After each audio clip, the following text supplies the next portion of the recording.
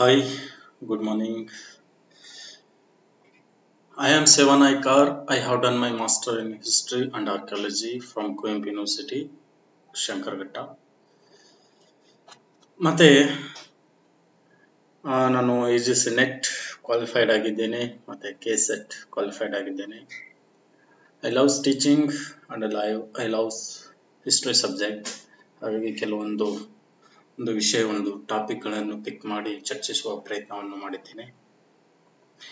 ನಾವು ಇವತ್ತಿನ ದಿನ ಬಂಗಾಳದ ಒಂದು ಪಾರ್ಟಿಷನ್ ಇದೆಯಲ್ಲ ಅದರ ಕುರಿತು ನಾವು ಚರ್ಚೆ ಮಾಡಲು ಬಯಸುತ್ತೇನೆ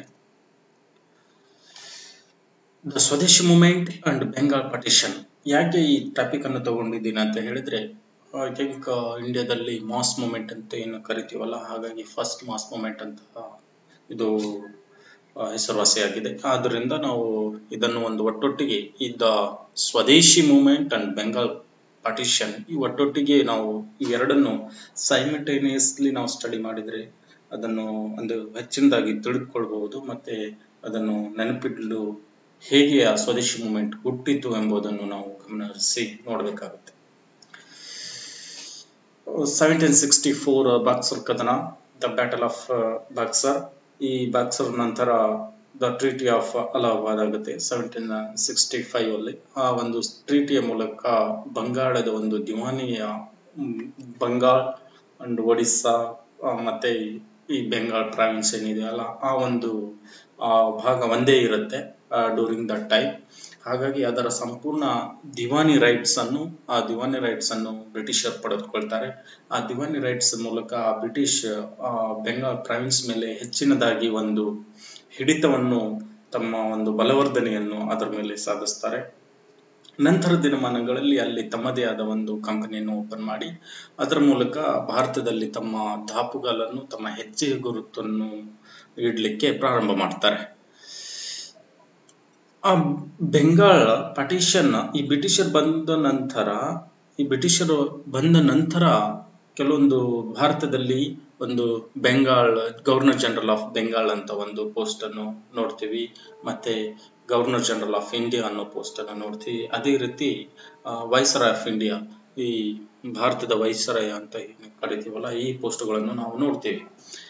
ಈ ಭಾರತದ ವೈಸ್ರಾಯಗಳು ಏನಿದಾರಲ್ಲ, ಅನೇಕ ವೈಸ್ರಾಯಗಳು ಭಾರತದಲ್ಲಿ ತಮ್ಮ ಒಂದು ಆಡಳಿತವನ್ನು ಕೊಟ್ಟಿದ್ದಾರೆ. ಅದರಲ್ಲಿ ಜಾರ್ಜ್ ಖರ್ಜನ್ ಅಥವಾ ಲಾರ್ಡ್ ಖರ್ಜನ್ ಅಂತ ಹೇಳಿ ಕರಿತೀವಿ. ಇದಕ್ಕಿಂತ ಮೊದಲು Elgin second, Lord Elgin second ಅಂತ ಏನ್ ಕರಿತೀವಲ್ಲ, ಇವರು ಇರ್ತಾರೆ ಇವರು ತದನಂತರ ಬರುವವರೇ Lord Curzon. Eighteen ninety nine to nineteen naught five ಒಂದು ಸೆವೆನ್ ಇಯರ್ ಒಂದು ಅಡ್ಮಿನಿಸ್ಟ್ರೇಷನ್ ಅನ್ನು ಮಾಡ್ತಾರೆ ಈ ಲಾರ್ಡ್ ಖರ್ಜನ್ ಎನ್ನುವರು. ಈ ಲಾರ್ಡ್ ಖರ್ಜನ ಭಾರತದಲ್ಲಿ ಯಾವ ಥರ ಇವ್ರದ್ದು ಒಂದು ಪಾಲಿಸಿ ಇರುತ್ತೆ ಅಂತ ಹೇಳಿದ್ರೆ ರಿಯಾಕ್ಷನರಿ ಪಾಲಿಸಿ ಆಫ್ ಖರ್ಜನ್. ಏನು? ಈ ರಿಯಾಸ್ ರಿಯಾಕ್ಷನರಿ ಪಾಲಿಸಿಯನ್ನು ಇವರು ಅನುಸರಿಸ್ತಾರೆ. ಇದರಲ್ಲಿ he refuse to recognise India as a nation and insult Indian nationalist ಇವರು ಒಂದು ದೇಶವನ್ನು, ಈ ಭಾರತವನ್ನು ದೇಶವನ್ನಾಗಿ ರೆಕಗ್ನೈಸ್ ಮಾಡಲಿಕ್ಕೆ ಇವರು ಒಪ್ಪೋದಿಲ್ಲ. ಮತ್ತೆ ಈ ನ್ಯಾಷನಲಿಸ್ಟ್ಗಳನ್ನು ಇವರು ಅಪಮಾನ ಮಾಡುವಂತದ್ದು ಮತ್ತೆ ನಮ್ಮ ಭಾರತದ ಬುದ್ಧಿಜೀವಿಗಳನ್ನು ಅಪಮಾನ ಮಾಡುವಂತಹ ಒಂದು ಕಾರ್ಯದಲ್ಲಿ ನಿರತರಾಗ್ತಾರೆ. ಇವರು ಅನೇಕ ಪಾಲಿಸಿಗಳನ್ನು ಕೂಡ, ಒಂದು ಆಕ್ಟ್ಗಳನ್ನು ಕೂಡ ಇವರು ತಮ್ಮ ಆಡಳಿತ ಅವಧಿಯಲ್ಲಿ ತರ್ತಾರೆ. ಅದರಲ್ಲಿ ಕಲ್ಕತ್ತಾ ಕಾರ್ಪೊರೇಷನ್ ಆಕ್ಟ್ ಅಂತ ಏನು ಕರಿತೀವಲ್ಲ, ಈ ಕಲ್ಕತ್ತಾ ಕಾರ್ಪೊರೇಷನ್ ಅಲ್ಲಿ ಕಲ್ಕತ್ತಾ ಕಾರ್ಪೊರೇಷನ್ ಆಕ್ಟ್ ಅನ್ನು ಜಾರಿಗೆ ತರ್ತಾರೆ.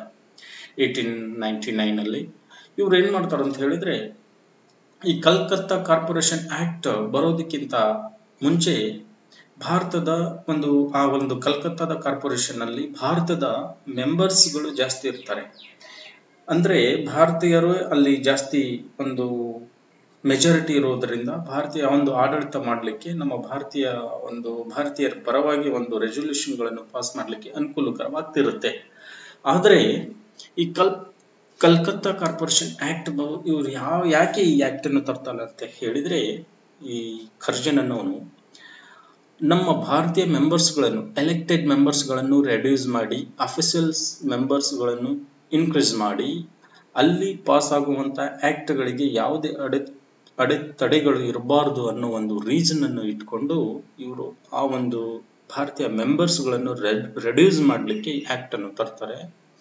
ಮತ್ತೆ ಅಲ್ಲಿ ಇಂಡಿಯನ್ ಏನ್ ಮೆಂಬರ್ಸ್ ಇದಾರಲ್ಲ ಅದರ ಅಗೇನಿಸ್ಟ್ ಆಗಿ ಈ ಈ ಇಂಗ್ಲಿಷ್ ಮೆಂಬರ್ಸ್ ಬರ್ತಾರೆ ಆ ಒಂದು ಕಾರ್ಪೊರೇಷನ್ ಆಕ್ಟ್ ಅಡಿಯಲ್ಲಿ.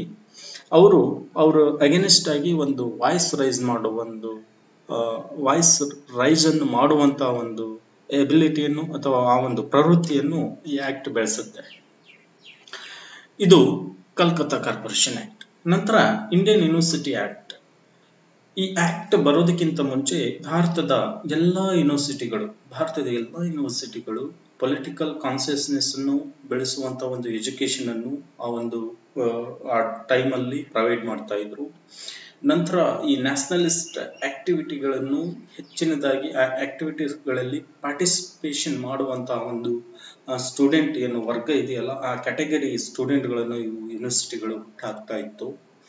ಇದನ್ನು ತಡೆ ಒಡ್ಲಿಕ್ಕೆ ಇದನ್ನು ಈ ಮೇನ್ ಈ ಎಜುಕೇಟೆಡ್ ಪೀಪಲ್ಸ್ ಏನು ಇದಾರಲ್ಲ, ನಮ್ಮ ಇಂಡಿಯನ್ ಎಜುಕೇಟೆಡ್ ಪೀಪಲ್ಸ್ ಅಂತ ಏನು ಕರಿತೀವಲ್ಲ, ಈ ಎಜುಕೇಟೆಡ್ ಪೀಪಲ್ಸ್ಗಳನ್ನು ಈ ಥರ ಒಂದು ಒಂದು ಅವೇರ್ನೆಸ್ಗಳನ್ನು ಯೂನಿವರ್ಸಿಟಿಗಳು ಬೆಳೆಸ್ತಿರುವ ಕಾರಣದಿಂದ ಅವುಗಳನ್ನು ಒಂದು ರೆಡ್ಯೂಸ್ ಮಾಡಲಿಕ್ಕೆ ಇಂಡಿಯನ್ ಯೂನಿವರ್ಸಿಟಿ ಆಕ್ಟ್ ಅನ್ನು ಈ ಲಾರ್ಡ್ ಖರ್ಜನ್ ಅನ್ನೋನು ಜಾರಿಗೆ ತರ್ತಾರೆ.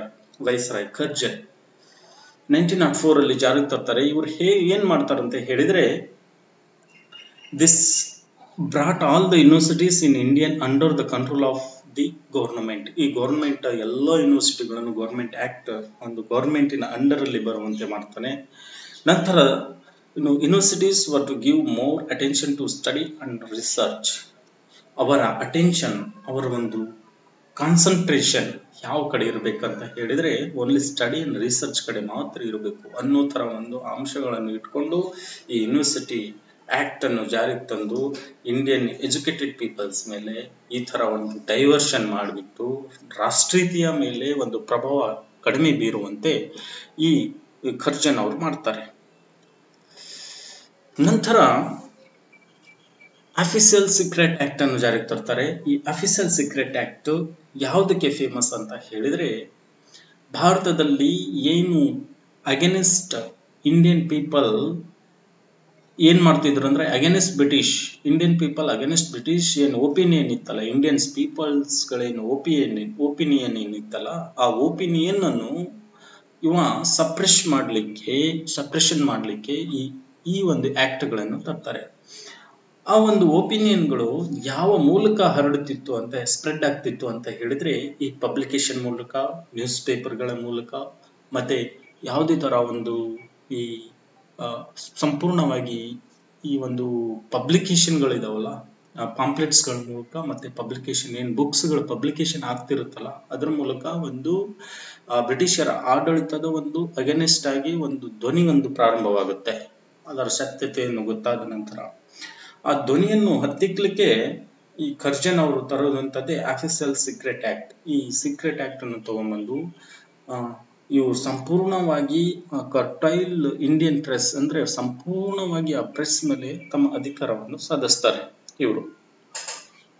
ಓಕೆ? ಹಾಗಾಗಿ ಇದು ಪ್ರಮುಖವಾಗುತ್ತೆ ಇಂಡಿಯನ್ ಸೀಕ್ರೆಟ್ ಆಕ್ಟ್ ಅನ್ನೋದು. ಮತ್ತೆ ಅನೇಕ ಎಕ್ಸಾಮ್ಗಳಲ್ಲಿ ಕಾಂಪಿಟೇಟಿವ್ ಎಕ್ಸಾಮ್ಗಳಲ್ಲಿ ಈ ಒಂದು ಕ್ವಶನ್ ಅನ್ನು ಕೇಳಿದ್ದಾರೆ the nineteen naught five he founded agriculture research institute at Pusa Bihar ಬಿಹಾರ್ನಲ್ಲಿ agriculture ಡೆವಲಪ್ಮೆಂಟ್ಗೆ ಈ ಒಂದು ಇನ್ಸ್ಟಿಟ್ಯೂಟ್ ಅನ್ನು ಲಾರ್ಡ್ ಖರ್ಜನ್ ಅವರು ಪ್ರಾರಂಭ ಮಾಡ್ತಾರೆ. Nineteen naught nineteen thirty four ಅಲ್ಲಿ ಇದು ಡೆಲ್ಲಿಗೆ ಶಿಫ್ಟ್ ಆಗುತ್ತೆ. ಇದು ಒಂದು ಗೊತ್ತಿರಬೇಕಾದಂತ ಒಂದು ಅಂಶ. ನಂತರ ಈ ಬೆಂಗಾಲ್ ಪಾರ್ಟಿಷನ್ ಡೈರೆಕ್ಟ್ ಆಗಿ ಬರುವ ಈ ಬೆಂಗಾಲ್ ಪಾರ್ಟಿಷನ್ ಬೆಂಗಾಲ್ ಒಂದು ರಿಸ್ಲೆ ಅನ್ನೋ ಒಬ್ಬ ಅಧಿಕಾರಿ ಇರ್ತಾನೆ. ಆ ಒಂದು during the time officer home secretary to the government of India nineteen naught four Bengal united is a power Bengal divided will pull in several different ways one of our main objective is to split up and thereby to weak, weaken a sword body of opponent to rule.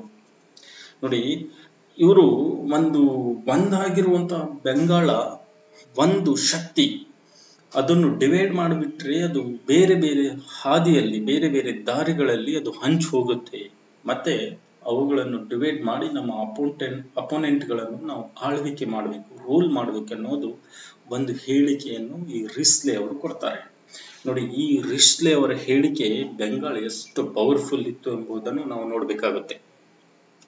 ಇದನ್ನು ಈ ಹೇಳಿಕೆಯನ್ನು important ಈ ಹೇಳಿಕೆ ಅನೇಕ ಕೆಸಟ್ ಮತ್ತೆ net ಎಕ್ಸಾಮ್ಗಳಲ್ಲಿ coat ಮಾಡಿ ಕೇಳಿದ್ದಾರೆ.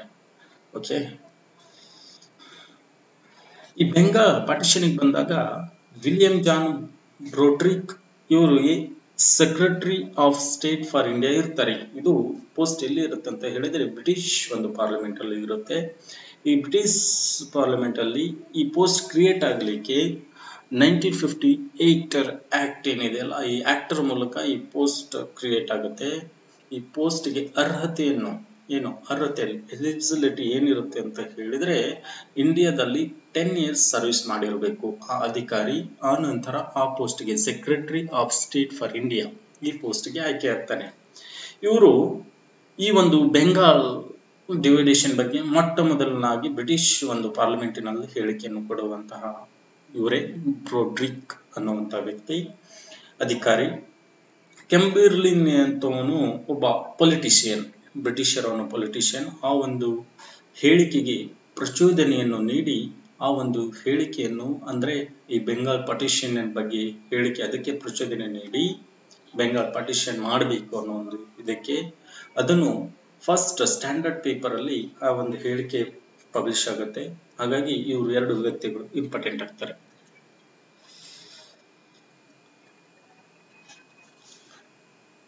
Partition of Bengal to divide people ಮೊದಟ ಮೊದಲ ಬಾರಿಗೆ ಈ ಪಾರ್ಟಿಷನ್ ಬಗ್ಗೆ ನಾವು ಮಾತಾಡೋದಾದರೆ the British government decision to partition Bengal had been made public in December nineteen naught three ಈ ಒಂದು ಹೇಳಿಕೆಯನ್ನು, ಒಂದು ಡಿಸಿಷನ್ ಅನ್ನು ಪಬ್ಲಿಕ್ ಅಲ್ಲಿ ಒಂದು ಕೊಡುವಂಥದ್ದೇ ಹತ್ತೊಂಬತ್ತು ನೂರ ಮೂರರಲ್ಲಿ ಈ ಒಂದು ಬೆಂಗಾಲ್ ನಾವು ಪಾರ್ಟಿಷನ್ ಮಾಡ್ತೀವಿ ಅನ್ನೋದನ್ನು.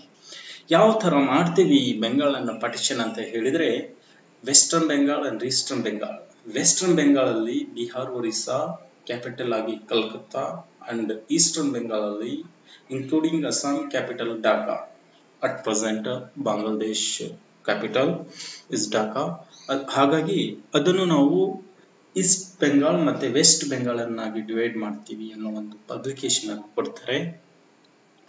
ಇವರು ಯಾಕೆ ಡಿವಿಡೇಷನ್ ಮಾಡ್ತೀವಿ ಅಂತ ಇವರು ರೀಸನ್ ಕೊಡ್ತಾರೆ. ಅವರು ಹೇಳುವಂತ ರೀಸನ್ನು ಈ ಬೆಂಗಾಲ್ ಪ್ರಾವಿನ್ಸ್ ಅನ್ನೋದು ತುಂಬಾ ದೊಡ್ಡ ಪಾಪ್ಯುಲೇಷನ್ ಇಂದ ಕೂಡಿದೆ. ಸುಮಾರು ಸೆವೆಂಟಿ ಏಟ್ ಮಿಲಿಯನ್ಸ್ ಪಾಪ್ಯುಲೇಷನ್ ಇದರಲ್ಲಿ ಇದೆ. ಹಾಗಾಗಿ ಇದು ಟೂ ಬಿಗ್ ಆಗುತ್ತೆ. ಇದನ್ನು ಬಿಗ್ ತುಂಬಾ ದೊಡ್ಡದಾಗುತ್ತೆ. ಹಾಗಾಗಿ ಅಡ್ಮಿನಿಸ್ಟ್ರೇಟ್ ಮಾಡಲಿಕ್ಕೆ ಇದು ತುಂಬಾ ನಮಗೆ ಕಷ್ಟ ಆಗುತ್ತೆ. ಅದರಿಂದ ಡಿವೈಡ್ ಮಾಡಿ ಈ ಬ್ಯಾಕ್ವರ್ಡ್ ಪ್ರಾವಿನ್ಸ್ ಏನಿದಾವಲ್ಲ ಈಸ್ಟರ್ನ್ ಬೆಂಗಾಲ್ ಈ ಈಸ್ಟರ್ನ್ ಬೆಂಗಾಲ್ ಅನ್ನು ನಾವು ಡೆವಲಪ್ ಮಾಡ್ತೀವಿ. ಈಸ್ಟರ್ನ್ ಬೆಂಗಾಲ್ ಮೀನ್ಸ್ ಅಸ್ಸಾಂ ಮತ್ತೆ ಮಣಿಪುರ್ ಈ ಒಂದು ಈಗಿನ ಬಾಂಗ್ಲಾದೇಶ್ ಈ ಒಂದು ಪ್ರದೇಶವನ್ನು ಡೆವಲಪ್ ಮಾಡ್ತೀವಿ ಅನ್ನೋ ಒಂದು ಒಂದು ರೀಸನ್ ಅನ್ನು ಇವರು ಕೊಡ್ತಾರೆ. ಆದರೆ ರಿಯಲ್ ರೀಸನ್ ಏನಾಗಿರುತ್ತೆ ಅವ್ರದ್ದು ಅಂತ ಹೇಳಿದ್ರೆ, ಬ್ರಿಟಿಷರು ಸಂಪೂರ್ಣವಾಗಿ ಬೆಂಗಾಲನ್ನು ವೀಕ್ ಮಾಡಿ ಅದರ ಅಂದ್ರೆ ಯಾಕೆ ವೀಕ್ ಮಾಡಬೇಕು ಅಂತ ಹೇಳಿದ್ರೆ ದ ಇಂಡಿಯನ್ ನ್ಯಾಷನಲಿಸಮ್ನ ಒಂದು ಸೆಂಟರ್ ಪಾಯಿಂಟ್ ಇರುತ್ತೆ ಬೆಂಗಾಲ್ ಅನ್ನೋದು ಈ ಪ್ರಾವಿನ್ಸ್ ಅದನ್ನು ವೀಕ್ ಮಾಡಿದರೆ ನಾವು ಇನ್ನಷ್ಟು ದಿನ ನಾವು ಇಂಡಿಯಾದಲ್ಲಿ ರೂಲ್ ಮಾಡಬಹುದು ಅನ್ನೋ ಒಂದು ಭರವಸೆ ಮೇಲೆ ಈ ಬೆಂಗಾಲ್ ಅನ್ನು ಪಾರ್ಟಿಷನ್ ಮಾಡುವಂತ ಪ್ಲಾನ್ ಅನ್ನು ಇವರಿಗೆ ಫೋರ್ಸಿಗೆ ತರ್ತಾರೆ. ಇವರು ಆ ನರ್ವ್ ಸೆಂಟ್ರಿಯನ್ ಇದೆಯಲ್ಲ ಬೆಂಗಾಲ್ ಆ ಬೆಂಗಾಲನ್ನು ಸಂಪೂರ್ಣವಾಗಿ ನಾವು ಡಿವೈಡ್ ಮಾಡಿ ಅದರ ಒಂದು ಒಂದು ನ್ಯಾಷನಲಿಸ್ಟರ್ ಒಂದು ಏನಿದೆಯಲ್ಲ, ಆ ಒಂದು ಹೋರಾಟವನ್ನು ಸ್ಟ್ರಗಲ್ ಅನ್ನು ಡಿಫ್ರೆಂಟ್ ವೇಸ್ ಅಲ್ಲಿ ಅದನ್ನು ಹೋಗುವಂತೆ ಮಾಡಬೇಕು ಅನ್ನೋದು ಇವರು ನಿಜವಾದ ಅದರಲ್ಲಿ ಇರುವಂತಹ ರೀಸನ್ ಇರುತ್ತೆ. ಮತ್ತೆ ಡಿವೈಡ್ ಅಂಡ್ ಪಾಲಿಸಿ ಮಾಡಬೇಕು. ಮುಸ್ಲಿಮರನ್ನು ಮತ್ತೆ ಏನು ಹಿಂದೂ ಮೆಜಾರಿಟಿ ಏರಿಯಾಗಳಿದಾವಲ್ಲ, ಅದರಲ್ಲಿ ಅವನ್ನು ಡಿವೈಡ್ ಮಾಡಿ ನಾವು ರೂಲ್ ಮಾಡ್ಬೇಕನ್ನೋ ಒಂದು ಕಾನ್ಸೆಪ್ಟ್ ಇವ್ರದ್ದಾಗಿರುತ್ತೆ. ಇವರು main bases of language language ಮೇಲೆ ಡಿವೈಡ್ ಮಾಡಬೇಕು. ಏನ್ ಬೆಂಗಾಳಿಗಳು ಏನಿದಾರಲ್ಲ, ಆ ಮೆಜಾರಿಟಿಯನ್ನು ನಾವು ಮೈನಾರಿಟಿಯನ್ನಾಗಿ ಮಾಡಬೇಕು ಅನ್ನೋದು ಒಂದು ಇವ್ರದ್ದು ಇರುತ್ತೆ. ಮತ್ತೆ ಈ ರಿಲಿಜನ್ ಮೇಲೆ ಒಂದು ಡಿವೈಡೇಷನ್ ಮಾಡಬೇಕು. ರಿಲಿಜನ್ ಮೇಲೆ ಡಿವೈಡೇಷನ್ ಮಾಡಿದ್ರೆ ಹಿಂದೂ ಮೆಜಾರಿಟಿ ಇರುವಂತಹ ಏರಿಯಾದಲ್ಲಿ ಹಿಂದೂಗಳನ್ನು ಜಾಸ್ತಿ ಬಿಟ್ಟು, ಮುಸ್ಲಿಂ ಮೆಜಾರಿಟಿ ಇರುವಂತಹ ಏರಿಯಾದಲ್ಲಿ ಮುಸ್ಲಿಮ್ಸರನ್ನು ಈ ತರ ನಾವು ಡಿವೈಡ್ ಮಾಡಿದ್ರೆ ಒಂದು ಒಂದು ಧರ್ಮದ ವೈಷಮ್ಯ ಬೆಳೆಯುತ್ತೆ. ಹಾಗಾಗಿ ಅವರು ಒಂದಾಗ್ಲಿಕ್ಕೆ ಸಾಧ್ಯ ಇಲ್ಲ. ಅವರು ಯುನೈಟೆಡ್ ಆಗಿ ಅವರು ಹೋರಾಟ ಸ್ಟ್ರಗಲ್ ಮಾಡಲಿಕ್ಕೆ ಸಾಧ್ಯ ಇಲ್ಲ ನಂಬಿಕೆಯನ್ನು ಇವರು ಇಟ್ಕೊಂಡು Hindu majority area seventy two million sorry forty two million out of total fifty four million ಈ ಒಂದು ಭಾಗವನ್ನು ಈಸ್ಟರ್ನ್ ಬೆಂಗಾಳಲ್ಲಿ ಇಡ್ತಾರೆ. ಮತ್ತೆ ಸಾರಿ ವೆಸ್ಟರ್ನ್ ಬೆಂಗಾಲಲ್ಲಿ ಈಸ್ಟರ್ನ್ ಬೆಂಗಾಲಲ್ಲಿ ಅದರಲ್ಲಿ ಮುಸ್ಲಿಂ ಮೆಜಾರಿಟಿ ಇರುತ್ತೆ. Eighteen million out of thirty one million ಆ ಒಂದು ಒಂದು ಕ್ಯಾಲ್ಕುಲೇಷನ್ ಮಾಡಿ ಡಿವೈಡೇಷನ್ ಮಾಡ್ತಾರೆ ಇವರು. ಇವರು ಆ ಒಂದು ಹೇಳಿಕೆ ಕೊಟ್ಟಿದ್ದಂಗೆನೆ ಅದನ್ನ ಫೋರ್ಸಿಗೆ ತರ್ತಾರೆ ಅನ್ನೋ ಒಂದು, ಆ ಒಂದು ಒಂದು ಸನ್ನಿವೇಶದಲ್ಲಿಯೇ ಈ ಆ ಒಂದು ಒಂದು ಸಿಚುವೇಶನ್ ಅಲ್ಲಿ, ಆ ಒಂದು ಸಿಚುವೇಶನ್ ಅಲ್ಲಿ ಸುರೇಂದ್ರನಾಥ್ ಈ ಗಳು ಇರ್ತಾರೆ. ಮಾಡ್ರೇಟ್ಸ್ ಅಂತ ಏನ್ ಕರಿತೀವ ಮಂದಗಾಮಿಗಳು. ಆ ಮಂದಗಾಮಿಗಳು ಒಂದು ಹೋರಾಟ ನಡೀತಿರುತ್ತೆ. ಅವರ ಹೋರಾಟ ಯಾವ ತರ ಇರುತ್ತೆ ಅಂತ ಹೇಳಿದ್ರೆ ಪಿಟಿಷನ್ ಕೊಡುವಂಥದ್ದು ಮತ್ತೆ ಸಾಂವಿಧಾನಿಕವಾಗಿ ಅವರಲ್ಲಿ ಒಂದು ಒಂದು ಪ್ರೆಸರ್ ಅನ್ನು ತರುವಂತದ್ದು ಮತ್ತೆ ಪಾಂಪ್ಲೆಟ್ಸ್ಗಳನ್ನು ಗಳನ್ನು ಹಚ್ಚುವಂತದ್ದು ಅಗೇನೆಸ್ಟ್ ಏನು ಪೀಪಲ್ಸ್ ಇಂಡಿಯನ್ ಪೀಪಲ್ ಒಪಿನಿಯನ್ ಏನಿದೆಯಲ್ಲ ಅಗೇನೆಸ್ಟ್ ಬ್ರಿಟಿಷರ್ ಆಗಿ ಬೆಳಿಬೇಕು ಅನ್ನೋ ಒಂದು ನಿಟ್ಟಿನಲ್ಲಿ ಇವ್ರು ಮಾಡ್ತಾರೆ. ಬಟ್ ಆ ಒಪಿನಿಯನ್ಗಳನ್ನು ಏನು ಪಬ್ಲಿಕ್ ಒಪಿನಿಯನ್ಗಳು ಏನಿದಾವಲ್ಲ, ಆ ಪಾರ್ಟಿಷನ್ ಪ್ರಪೋಸಲ್ ವಿರುದ್ಧ ಎಷ್ಟೇ ಒಪಿನಿಯನ್ ಬಂದರೂ ಕೂಡ ಅದನ್ನು ಇಗ್ನೋರ್ ಮಾಡಿ, ಅದನ್ನು ಇಗ್ನೋರ್ ಮಾಡಿಬಿಟ್ಟು ಅವರು ಪಾರ್ಟಿಷನ್ ಮಾಡುತ್ತಾರೆ ಆ ಒಂದು ಮೂಮೆಂಟಿನಲ್ಲಿ Surendranath Banerjee, K K Mitra Prithwish Chandra Roy and ಇವರು ಪ್ರಮುಖ ನಾಯಕರಿರ್ತಾರೆ. ನ್ಯೂಸ್ ಪೇಪರ್ ಯಾವ್ದ್ಯಾವ್ದು ಇರುತ್ತೆ ಅಂತ ಹೇಳಿದ್ರೆ, Hitabadi, Sanjivani and Bengali Bengali most important newspaper ಇವರು ಸುರೇಂದ್ರನಾಥ್ ಬ್ಯಾನರ್ಜಿ ಅವ್ರದ್ದು ಈ ಪೇಪರ್ ಸುಮಾರು ಒಂದು ಒಂದು ಪರೀಕ್ಷೆಗಳಲ್ಲಿ ಇದನ್ನು ಕೇಳಿದ್ದಾರೆ. ಹಾಗಾಗಿ ಈ ಪೇಪರ್ಗಳು ಪಬ್ಲಿಕ್ನ ಒಂದು ಒಪಿನಿಯನ್ಗಳನ್ನು, ಆ ಒಪಿನಿಯನ್ಗಳನ್ನು ಒಂದು ಸಂಗ್ರಹಿಸುವ ಒಂದು ಪ್ರಯತ್ನ ಮಾಡಿ, ಬ್ರಿಟಿಷರ ಮೇಲೆ ಎಷ್ಟು ಇತ್ತು ಎಂಬುದನ್ನು ಸಾಬೀತುಪಡಿಸ್ತವೆ ಆದರೆ ಅವು ಯಾವುದನ್ನು ಒಂದು ಇಗ್ನೋರ್ ಮಾಡಿ, ಯಾವುದನ್ನು ಲೆಕ್ಕಕ್ಕೆ ತಗೊಳ್ಳದೆ ಆ ಒಂದು ಬೆಂಗಾಲ್ ಪಾರ್ಟಿಷನ್ ಅನ್ನು, ಅದನ್ನು ಜಾರಿಗೆ ತರ್ತೀವಿ ಅನ್ನೋ ಒಂದು ಸಂಪೂರ್ಣವಾಗಿ ಒಂದು ರೆಸೊಲ್ಯೂಷನ್ ಮೂಲಕ ಜುಲೈ ನೈನ್ಟೀನ್ ನಾಟ್ ಫೈವ್ ಅದನ್ನು ಪಾಸ್ ಮಾಡ್ತಾರೆ. ಆ ಒಂದು ಪಾಸ್ ಮಾಡಿದ ತಕ್ಷಣ ಅನೇಕ ಕಡೆ ಮೀಟಿಂಗ್ಗಳಾಗ್ತವೆ ಎಲ್ಲ ಆಗ್ತವೆ ಜೊತೆಗೆ ಅದನ್ನು ಪ್ರೊಟೆಸ್ಟ್ ಮಾಡುವ ಒಂದು ಎಲ್ಲಾ ತರ ಒಂದು ಚಟುವಟಿಕೆಗಳು ಆಕ್ಟಿವಿಟೀಸ್ ಬೆಳೆಯುತ್ತವೆ. ಅದನ್ನು ಸಂಪೂರ್ಣವಾಗಿ ಆ ಬೆಂಗ ಪಾರ್ಟಿಷನ್ ಅನ್ನು ಫೋರ್ಸ್ಗೆ ತರುವಾಗ, ಆ ಒಂದು ನಿಟ್ಟಿನಲ್ಲಿ ಫೋರ್ಸ್ಗೆ ತರುವ ಒಂದು ಕಾರ್ಯ ಪ್ರವೃತ್ತಿಯಾದಾಗ ಅವರು ಈ ಏನ್ ಪಬ್ಲಿಕೇಶನ್ ಆಗಿತ್ತಲ್ಲ, ನಾವು ತರ್ತೀವಿ, ಅದನ್ನು ಡಿವೈಡೇಷನ್ ಮಾಡ್ತೀವಿ ಅನ್ನೋದು ರೆಸೊಲ್ಯೂಷನ್ ಪಾಸ್ ಆದಾಗ, ಕಲ್ಕತ್ತಾದ ಟೌನ್ ಹಾಲ್ ಅಲ್ಲಿ ಒಂದು ಎಲ್ಲ ಒಂದು ಮುಸ್ಲಿಂ ಅಂಡ್ ಹಿಂದೂಸ್ ಪೀಪಲ್ಸ್ ಇದಾವಲ್ಲ, ಬೆಂಗಾಲಿಯನ್ಸ್, ಅವರೆಲ್ಲ ಸಭೆ ಸೇರ್ತಾರೆ. ಆ ಸಭೆ ಸೇರಿ ಅಲ್ಲಿ ಒಂದು ರೆಜುಲ್ಯೂಷನ್ ಪಾಸ್ ಮಾಡ್ತಾರೆ. ಆಗಸ್ಟ್ ಏಳು ಹತ್ತೊಂಬತ್ ನೂರ ಐದು. ಆ ಒಂದು ರೆಜುಲ್ಯೂಷನ್ ಪಾಸ್ ಮಾಡಿದಾಗ ಅಲ್ಲಿ ಕಲ್ಕತ್ತಾ ಟೌನ್ ಹಾಲ್ ಅಲ್ಲಿ ಒಂದು ಒಂದು ಫಾರ್ಮಲ್ ಆಗಿ ಒಂದು ಪ್ರೊಕ್ಲಮೇಷನ್ ಆಗುತ್ತೆ, ಸ್ವದೇಶಿ ಮೂಮೆಂಟ್ ಆ ಒಂದು ಸ್ವದೇಶಿ ಮೂಮೆಂಟ್ ಅನ್ನು, ಹೊಸ ತಂತ್ರವನ್ನು ಇಲ್ಲಿ ಪರಿಚಯಿಸ್ತಾರೆ. ಆ ಸ್ವದೇಶಿ, ಈ ಒಂದು ಟೌನ್ ಹಾಲ್ ಇಂದ, ಆ ಪ್ರಮುಖವಾಗಿ ಸ್ವದೇಶಿ ಮೂಮೆಂಟ್ ಹುಟ್ಟಿದ್ದೇ ಈ ಬೆಂಗಾಲ್ ಪಾರ್ಟಿಷನ್ ಮುಖಾಂತರ. ಹಾಗಾಗಿ, ಸ್ವದೇಶಿ ಮೂಮೆಂಟ್ ಅನ್ನೋದು ಒಂದು ಚಳುವಳಿ ಸ್ಟಾರ್ಟ್ ಆಗಿದ್ದು, ಈ ಬೆಂಗಾಲ್ ಪಾರ್ಟಿಷನ್ ಒಂದು ವಿರುದ್ಧವಾಗಿ. ಈ ಒಂದು ಟೌನ್ ಕಲ್ಕತ್ತಾದ ಟೌನ್ ಹಾಲ್ ಇಂದ ಭಾರತದ ಆ ಬೆಂಗಾಲ್ ಪ್ರಾವಿನ್ಸ್ನ ಜನತೆ ಅಲ್ಲಿಂದ ಒಂದು ಮೀಟಿಂಗ್ ಮಾಡಿ ಅಲ್ಲಿಂದ ಎಲ್ಲಾ ಒಂದು ಪೊಸಿಷನ್ ಹೊರಡುತ್ತಾರೆ. ಅಲ್ಲಿಂದ ಆ ಟೌನ್ ಹಾಲ್ ಇಂದ ಆ ಪೊಸಿಷನ್ ಹೊರಡುತ್ತಲ್ಲ, ಆ ಪೊಸಿಷನ್ ಅಲ್ಲಿ ಅನೇಕ ನಾಯಕರು ಪಾಲ್ಗೊಳ್ತಾರೆ. ಅದರಲ್ಲಿ ಪ್ರಮುಖವಾಗಿ ಆ ಪೊಸಿಷನ್ ಅಲ್ಲಿ ಆ ಗಂಗಾ ನದಿಯಲ್ಲಿ ಸ್ನಾನ ಮಾಡಿ ಪರಸ್ಪರ ಹಿಂದೂ ಮತ್ತೆ ಮುಸ್ಲಿಮ್ಸರು ಪರಸ್ಪರ ರಾಖಿ ಒಂದು ಕಟ್ಟುವ ಮೂಲಕ, ಆಚರಣೆ ಯುನಿಟಿ ಎನ್ನುವುದನ್ನು ತೋರಿಸುವ ಮೂಲಕ ಆ ಒಂದು ಪೊಸಿಷನ್ ಅಲ್ಲಿ ಎಲ್ಲರೂ ಪಾಲ್ಗೊಳ್ತಾರೆ. ಮತ್ತೆ ಆ ಸಂಪೂರ್ಣವಾಗಿ ಆ ಪೊಸಿಷನ್ ಸ್ಟಾರ್ಟ್ ಆಗಿ ಅದು ಎಂಡ್ ಆಗುವವರೆಗೆ ರವೀಂದ್ರನಾಥ್ ಠಾಗೂರ್, ರಾಮೇಶ್ ರಾಮೇಂದ್ರ ಸುಂದರ್ ತ್ರಿವೇದಿ ಆ ಒಂದು ಟೈಮಲ್ಲಿ during the time secretary of the Bangiya Sahitya Parishad ಈ ಒಂದು ಒಂದು ಪರಿಷತ್ನ ಸೆಕ್ರೆಟರಿ ಆಗಿರ್ತಾರೆ. ಮತ್ತೆ ಈ ಠಾಗೂರ್ ಅವರೆಲ್ಲ ಅದರ ಒಂದು ಅದರ ಒಂದು ಅಡಿಯಲ್ಲಿ ಒಂದು ನಾಯಕರಾಗಿರುವಂತವರು ಸುರೇಂದ್ರನಾಥ್ ಬ್ಯಾನರ್ಜಿ ಮತ್ತೆ ಆನಂದ್ ಮೋಹನ್ ಬೋಸ್ ಇವರು ಆ ಒಂದು ದೊಡ್ಡ ಸಭೆಯನ್ನು ಉದ್ದೇಶಿಸಿ ಅವರು ಮಾತನಾಡ್ತಾರೆ. ಹಾಗಾಗಿ ಈ ಸುರೇಂದ್ರನಾಥ್ ಬ್ಯಾನರ್ಜಿ ಮತ್ತೆ ಆನಂದ್ ಮೋಹನ್ ಬೋಸ್ ಇವ್ ನಾಯಕರು ಏನಿದಾರಲ್ಲ ಏಟೀನ್ ಸೆವೆಂಟಿ ಫೈವ್ ಅಲ್ಲಿ ಒಂದು ಇಂಡಿಯನ್ ಲೀಗ್ ಅನ್ನೋ ಒಂದು ಸಂಸ್ಥೆಯನ್ನು ಸ್ಥಾಪನೆ ಮಾಡುವುದರ ಮೂಲಕ ಇವರು ಆ ಒಂದು ಆನಂದ್ ಮೋಹನ್ ಬೋಸ್ ಅನ್ನೋರು ತುಂಬಾ ಪ್ರಬಲವಾದಂತಹ ವ್ಯಕ್ತಿ ಬೆಳಕಿಗೆ ಬಂದಿರುವಂತವರು. ಹೀಗಾಗಿ ಅಕ್ಟೋಬರ್ ಹದಿನಾರು ಈ ಒಂದು ಪಾರ್ಟಿಷನ್ ಒಂದು ಫೋರ್ಸಿಗೆ ಬರುತ್ತೆ. ಆ ಫೋರ್ಸಿಗೆ ಬಂದರೂ ಕೂಡ ಅದರ ಒಂದು ಏನು ಪ್ರೊಟೆಸ್ಟ್ ಮಾಡುವಂತ ಒಂದು ಬಿಸಿ ಇನ್ನ ಒಂದು ಹೆಚ್ಚಿನ, ಹೆಚ್ಚಿನದಾಗಿ ಅದು ಕಾವೇರ್ತಾ ಹೋಗ್ತಿರುತ್ತೆ. ಆ ಒಂದು ಸಂದರ್ಭದಲ್ಲಿ ಈ ಮಾಡ್ರೇಟ್ಸ್ಗಳು ಆ ಒಂದು ಒಂದು ಚಳುವಳಿಯ ಒಂದು ನೇತೃತ್ವವನ್ನು ವಹಿಸ್ಕೊಂಡಿರ್ತಾರೆ. ಮುಂದುವರೆದು ನೋಡೋದಾದ್ರೆ ಪಾರ್ಟಿಷನ್ ಆಫ್ ಬೆಂಗಾಲ್ ಏನಿದೆಯಲ್ಲ, ಈ ಬೆಂಗಾಲ್ ಹತ್ತೊಂಬತ್ ನೂರ ಐದರಲ್ಲಿ ಒಂದು ಡಿವೈಡೇಷನ್ ಫೋರ್ಸಿಗೆ ಬಂದಾಗ ಈ ಪಾರ್ಟಿಷನ್ ಆಫ್ ಬೆಂಗಾಲ್ ಅಲ್ಲಿ ಮೈಗ್ರೇಟ್ಸ್ ಪೀಪಲ್ಗಳು ಈ ತರ ಆಗ್ತಾರೆ, ಎಲ್ಲದನ್ನು ಒಂದು ಈಸ್ಟ್ ಬೆಂಗಾಲಿಂದ ಆ ಬೆಂಗಾಲ್ಗೆ ಮತ್ತೆ ವೆಸ್ಟ್ ಬೆಂಗಾಲಿಂದ ಒಂದು ಈಸ್ಟ್ ಬೆಂಗಾಲ್ಗೆ ಈ ಪಾರ್ಟಿಷನ್ ಆದಾಗ ಹಿಂದೂ ಮೆಜಾರಿಟಿ ಇರುವವರು ಹಿಂದೂಗಳು ಒಂದು ಈ ಪ್ರದೇಶದಲ್ಲಿ ಅಂದ್ರೆ ತಮ್ಮ ಆಸ್ತಿ ಪಾಸ್ತಿಗಳನ್ನು ಬಿಟ್ಟು ಮತ್ತು ಮೈಗ್ರೇಟ್ಸ್ ಆಗುವಾಗ ಅನೇಕ ಅನಾಹುತಗಳು ಎಲ್ಲ ನಡೀತವೆ. ಏನು ನಾವು ಹತ್ತೊಂಬತ್ ನೂರ ನಲವತ್ತೇಳು ನೈನ್ಟೀನ್ ಫಾರ್ಟಿ ಸೆವೆನ್ ಅಲ್ಲಿ ಇಂಡಿಯಾ ಪಾಕಿಸ್ತಾನ ಡಿವಲ್ಯೂಷನ್ ಆಗುತ್ತಲ್ಲ, ಆ ಒಂದು ಸಂದರ್ಭದ ಒಂದು ಸಿಚುವೇಶನ್ ಹತ್ತೊಂಬತ್ ನೂರ ಐದರಲ್ಲಿ ಕ್ರಿಯೇಟ್ ಆಗುತ್ತೆ. ಈ ಒಂದು ಸಂದರ್ಭದಲ್ಲಿ ಕಾಂಗ್ರೆಸ್ ಪೊಸಿಷನ್ ಹೇಗಿತ್ತು ಎಂಬುದನ್ನು ನಾವು ನೋಡೋಣ. ಕಾಂಗ್ರೆಸ್ನ ಆ ಒಂದು ಹತ್ತೊಂಬತ್ ನೂರ ಐದರಲ್ಲಿ ಆ ಒಂದು ಸೆಷನ್ ಇದೆಯಲ್ಲ, ಆ ಮೀಟಿಂಗ್ ಬನಾರಸ್ ಅಲ್ಲಿ ನಡೆಯುತ್ತೆ. ದ ಪ್ರೆಸಿಡೆನ್ಶಿಪ್ ಗೋಖಲೆ, ಈ ಗೋಖಲೆ ಅವರು, ಗೋಪಾಲ್ ಕೃಷ್ಣ ಗೋಖಲೆ ಅವರ ನೇತೃತ್ವದಲ್ಲಿ ನಡೆಯುತ್ತೆ. ಈ ಗೋಪಾಲ್ ಕೃಷ್ಣ ಅವರು, ಗೋಖಲೆ ಅವರ ನೇತೃತ್ವದಲ್ಲಿ ಬನಾರಸ್ನಲ್ಲಿ ಕಾಂಗ್ರೆಸ್ ಸಭೆ ನಡೆಯುತ್ತೆ, ಕಾಂಗ್ರೆಸ್ ಸೆಷನ್. ಅದರಲ್ಲಿ ಸಂಪೂರ್ಣವಾಗಿ ಬೆಂಗಾಲ್ ಪಾರ್ಟಿಷನ್ ಅನ್ನು ವಿರೋಧನೆ ಮಾಡ್ತಾರೆ, ಮತ್ತೆ ಕರ್ಜನ ರಿಯಾಕ್ಷನರಿ ಪಾಲಿಸಿ ಕುರಿತು ಇದು ಅವರು ವಿರೋಧ ಮಾಡ್ತಾರೆ. ಸಂಪೂರ್ಣವಾಗಿ ಅದನ್ನು ಖಂಡನೆ ಮಾಡ್ತಾರೆ. ಮತ್ತೆ ಆಂಟಿಷನ್ ಆಂಟಿ ಪಾರ್ಟಿಷನ್ ಮೂವ್ಮೆಂಟ್ಗೆ ಇವರು ಸಪೋರ್ಟ್ ಮಾಡ್ತಾರೆ. ಮತ್ತೆ ಸ್ವದೇಶಿ ಮೂವ್ಮೆಂಟ್ ಆಫ್ ಬೆಂಗಾಲ್ ಅದಕ್ಕೆ ಕೂಡ ಇವು ಗೋಪಾಲ್ ಕೃಷ್ಣ ಗೋಖಲೆ ಅಲ್ಲಿ ಕರೆ ನೀಡುತ್ತಾರೆ ಸಪೋರ್ಟ್ ಮಾಡಿ ಅದರ ವಿರುದ್ಧ ಹೋರಾಡಲಿಕ್ಕೆ ಕರೆ ನೀಡುತ್ತಾರೆ ಬ್ರಿಟಿಷರ ವಿರುದ್ಧ. ನಂತರ ಈ ಕಾಂಗ್ರೆಸ್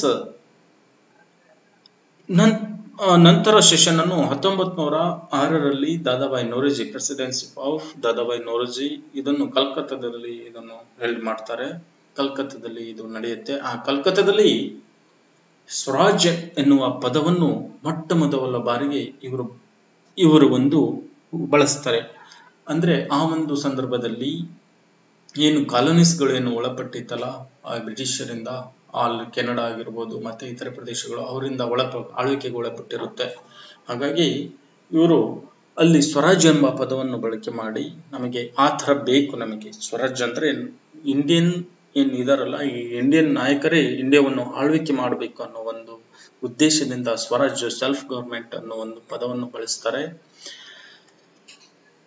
ತದನಂತರ ಈ ಮಾಡ್ರೇಟ್ಸ್ ಮತ್ತೆ ಈ ಮತ್ತೆ ನ್ಯಾಷನಲಿಸ್ಟ್ ಏನು ತೀವ್ರಗಾಮಿಗಳು ಆ ಒಂದು ಆ ಒಂದು ಚಳುವಳಿಯಲ್ಲಿ ಎಂಟ್ರಿ ಆಗಿದ್ದಾರೆ. ಮತ್ತೆ ಅದನ್ನು ಮುಂದುವರಿತಾ ತಮ್ಮ ಅದೊಂದು ಸಂಪೂರ್ಣವಾದ ಒಂದು ನಾಯಕತ್ವವನ್ನು ಇವರು ಮಿಲಿಟೆಂಟ್ಸ್ ನ್ಯಾಷನಲಿಸ್ಟ್ಗಳು ಏನಿದಾರಲ್ಲ, ಇವರು ವಹಿಸ್ಲಿಕ್ಕೆ ಅವರ ವಿಫಲತೆಯನ್ನು ಕೊಂಡು ಇವರು ವಹಿಸಲು ಮುಂದಾಳತ್ವ ವಹಿಸಲು ಮುಂದಾಗ್ತಾರೆ.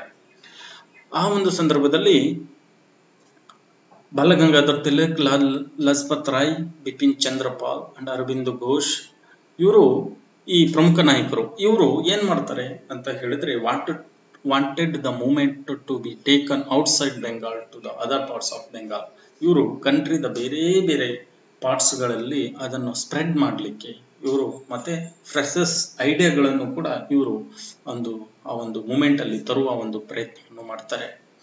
ಬೈಕಾಟ್ ಆಫ್ ಫಾರಿನ್ ಗೂಡ್ಸ್ ಆ ಫಾರಿನ್ ಗೂಡ್ಸ್ ಅನ್ನು ಬೈಕಾಟ್ ಮಾಡುವಂಥದ್ದು ಪಿಕೆಟಿಂಗ್ ಮಾಡುವಂಥದ್ದು, ಮತ್ತೆ ಪೊಲಿಟಿಕಲ್ ಸಭೆಗಳನ್ನು ಸೇರುವಂತಹ ಒಂದು ಅನೇಕ ಒಂದು ಒಂದು ಫ್ರೆಸಸ್ ಐಡಿಯಾಗಳನ್ನು ಇವರು ಜಾರಿಗೆ ತರ್ತಾರೆ. ಇವರು ಸ್ವದೇಶಿ ಮೂಮೆಂಟ್ ಅನ್ನು ಅಥವಾ ಬೈಕಾಟ್ ಮೂಮೆಂಟ್, ಸ್ವದೇಶಿ ಮೂಮೆಂಟ್ ಮತ್ತೆ ಬೈಕಾಟ್ ಮೂಮೆಂಟ್ ಎರಡನ್ನು ಒಟ್ಟೊಟ್ಟಿಗೆ ಈ ಒಂದೇ ಅಂದ್ರೆ ಆ ಸ್ವದೇಶಿ ಮೂಮೆಂಟ್ ನಲ್ಲೇ ಬೈಕಾಟ್ ಫಾರಿನ್ ಗೂಡ್ಸ್ ಅನ್ನು ಬೈಕಾಟ್ ಮಾಡುವಂಥದ್ದು. The Swadeshi movement had its genesis in the anti partition movement which was started to oppose the British decision to partition Bengal. ಆ ಒಂದು ಪಾರ್ಟಿಷನ್ ಬೆಂಗಾಲ್ ಏನು ಸ್ವದೇಶಿ ಮೂಮೆಂಟ್ ಇದೆಯಲ್ಲ, ಅದು ಅದು ಆಗಿದ್ದೇ ಆಂಟಿ ಪಾರ್ಟಿಷನ್ ಅದು ಬಂದಿದ್ದೇ ಆಂಟಿ ಪಾರ್ಟಿಷನ್ ಮೂಮೆಂಟ್ ಮುಖಾಂತರ ಬೆಳೆದಿದ್ದು.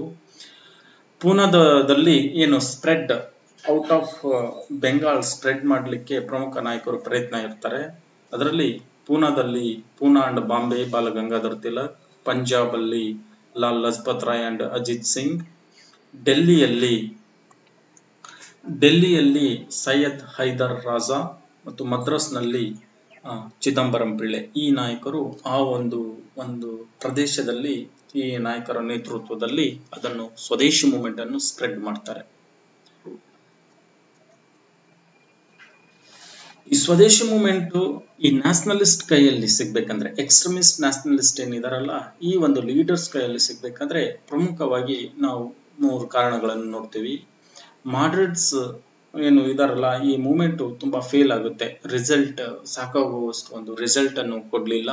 ಆಮೇಲೆ ಒಂದು ತಂತ್ರವನ್ನು, ಈ ಬ್ರಿಟಿಷರು ಒಂದು ತಂತ್ರವನ್ನು ಉಪಯೋಗಿಸ್ಕೊಂಡು ಬೆಂಗಾಲ್ ಮತ್ತೆ ನ್ಯಾಷನಲಿಸ್ಟ್ ಒಂದು ಇರುವ ಬೆಂಗಾಲ್ನಲ್ಲಿ ನ್ಯಾಷನಲಿಸ್ಟರ್ ಮಧ್ಯೆ ಒಂದು ಅಸಮಾಧಾನ ಉಂಟಾಗುತ್ತೆ. ಹಾಗಾಗಿ ಈ ನ್ಯಾಷನಲಿಸ್ಟರ್ ಮಧ್ಯೆ ಅಸಮಾಧಾನವನ್ನು ಉಂಟು ಮಾಡಲಿಕ್ಕೆ ಈ ಬ್ರಿಟಿಷರ ತಂತ್ರಗಾರಿಕೆಯನ್ನು ಇವರು ಅರಿತುಕೊಳ್ತಾರೆ ನಂತರ ಈ ಸಪ್ರೆಸಿವ್ ಆಗಿ ಈ ಮೂಮೆಂಟಿನಲ್ಲಿ ಪಾಲ್ಗೊಳ್ಳುವಂತಹ ಸ್ಟೂಡೆಂಟ್ಗಳ ಮೇಲೆ ಮತ್ತೆ ಈ ಸ್ವದೇಶಿ ವರ್ಕರ್ಸ್ಗಳ ಮೇಲೆ ಸಂಪೂರ್ಣವಾದ ಒಂದು ಒಂದು ಒಂದು ಒತ್ತಾಯಪೂರ್ವಕವಾಗಿ ಅವ್ರನ್ನ ಒಂದು ಜೈಲಿಗಟ್ಟುವಂಥದ್ದು ಮತ್ತೆ ಅನೇಕ ಒಂದು ರಿಸ್ಟ್ರಿಕ್ಷನ್ ಆಗಿ ಅವರ ಲಾಠಿ ಪ್ರವಾಹ ಇಂಥ ಕಾರ್ಯಗಳು ನಡೀತಿರುತ್ತವೆ.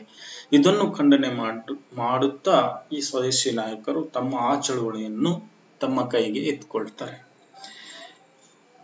ದ ಎಕ್ಸ್ಟ್ರೀಮಿಸ್ಟ್ ಪ್ರೋಗ್ರಾಮ್ ಮೊಟ್ಟ ಮೊದಲ ಬಾರಿಗೆ ಅವರ ಪ್ರೋಗ್ರಾಮ್ ಯಾವ್ಯಾವ ತರ ಇತ್ತು ಎಂಬುದನ್ನು ನಾವು ನೋಡೋದಾದ್ರೆ ಈ ನ್ಯಾಷನಲಿಸ್ಟ್ ಮಿಲಿಟೆಂಟ್ ಅಥವಾ ಮಿಸ್ ಮಿಲಿಟೆಂಟ್ ನ್ಯಾಷನಲಿಸ್ಟ್ ತೀವ್ರಗಾಮಿಗಳು ಏನಿದಾರಲ್ಲ ಇವ್ರದ್ದು ಆವಾಗಲೇ ಹೇಳಿದ ಹಾಗೆ ಹತ್ತೊಂಬತ್ ನೂರ ಆರರಲ್ಲಿ ಕಲ್ಕತ್ತಾ ಸೆಷನ್ನಲ್ಲಿ ಸ್ವರಾಜ್ ಗೌರ್ಮೆಂಟ್ ಅಥವಾ ಸ್ವ ಸೆಲ್ಫ್ ಗೌರ್ಮೆಂಟ್ ಎಂಬ ಪದವನ್ನು ಬಳಸೋದ್ರ ಮೂಲಕ ಒಂದು ದಾದಾಬಾಯಿ ನೊರೋಜಿ ಅವರು ಒಂದು ಸಂಪೂರ್ಣವಾಗಿ ಒಂದು ಸಪೋರ್ಟ್ ಅನ್ನು ಸೂಚಿಸ್ತಾರೆ.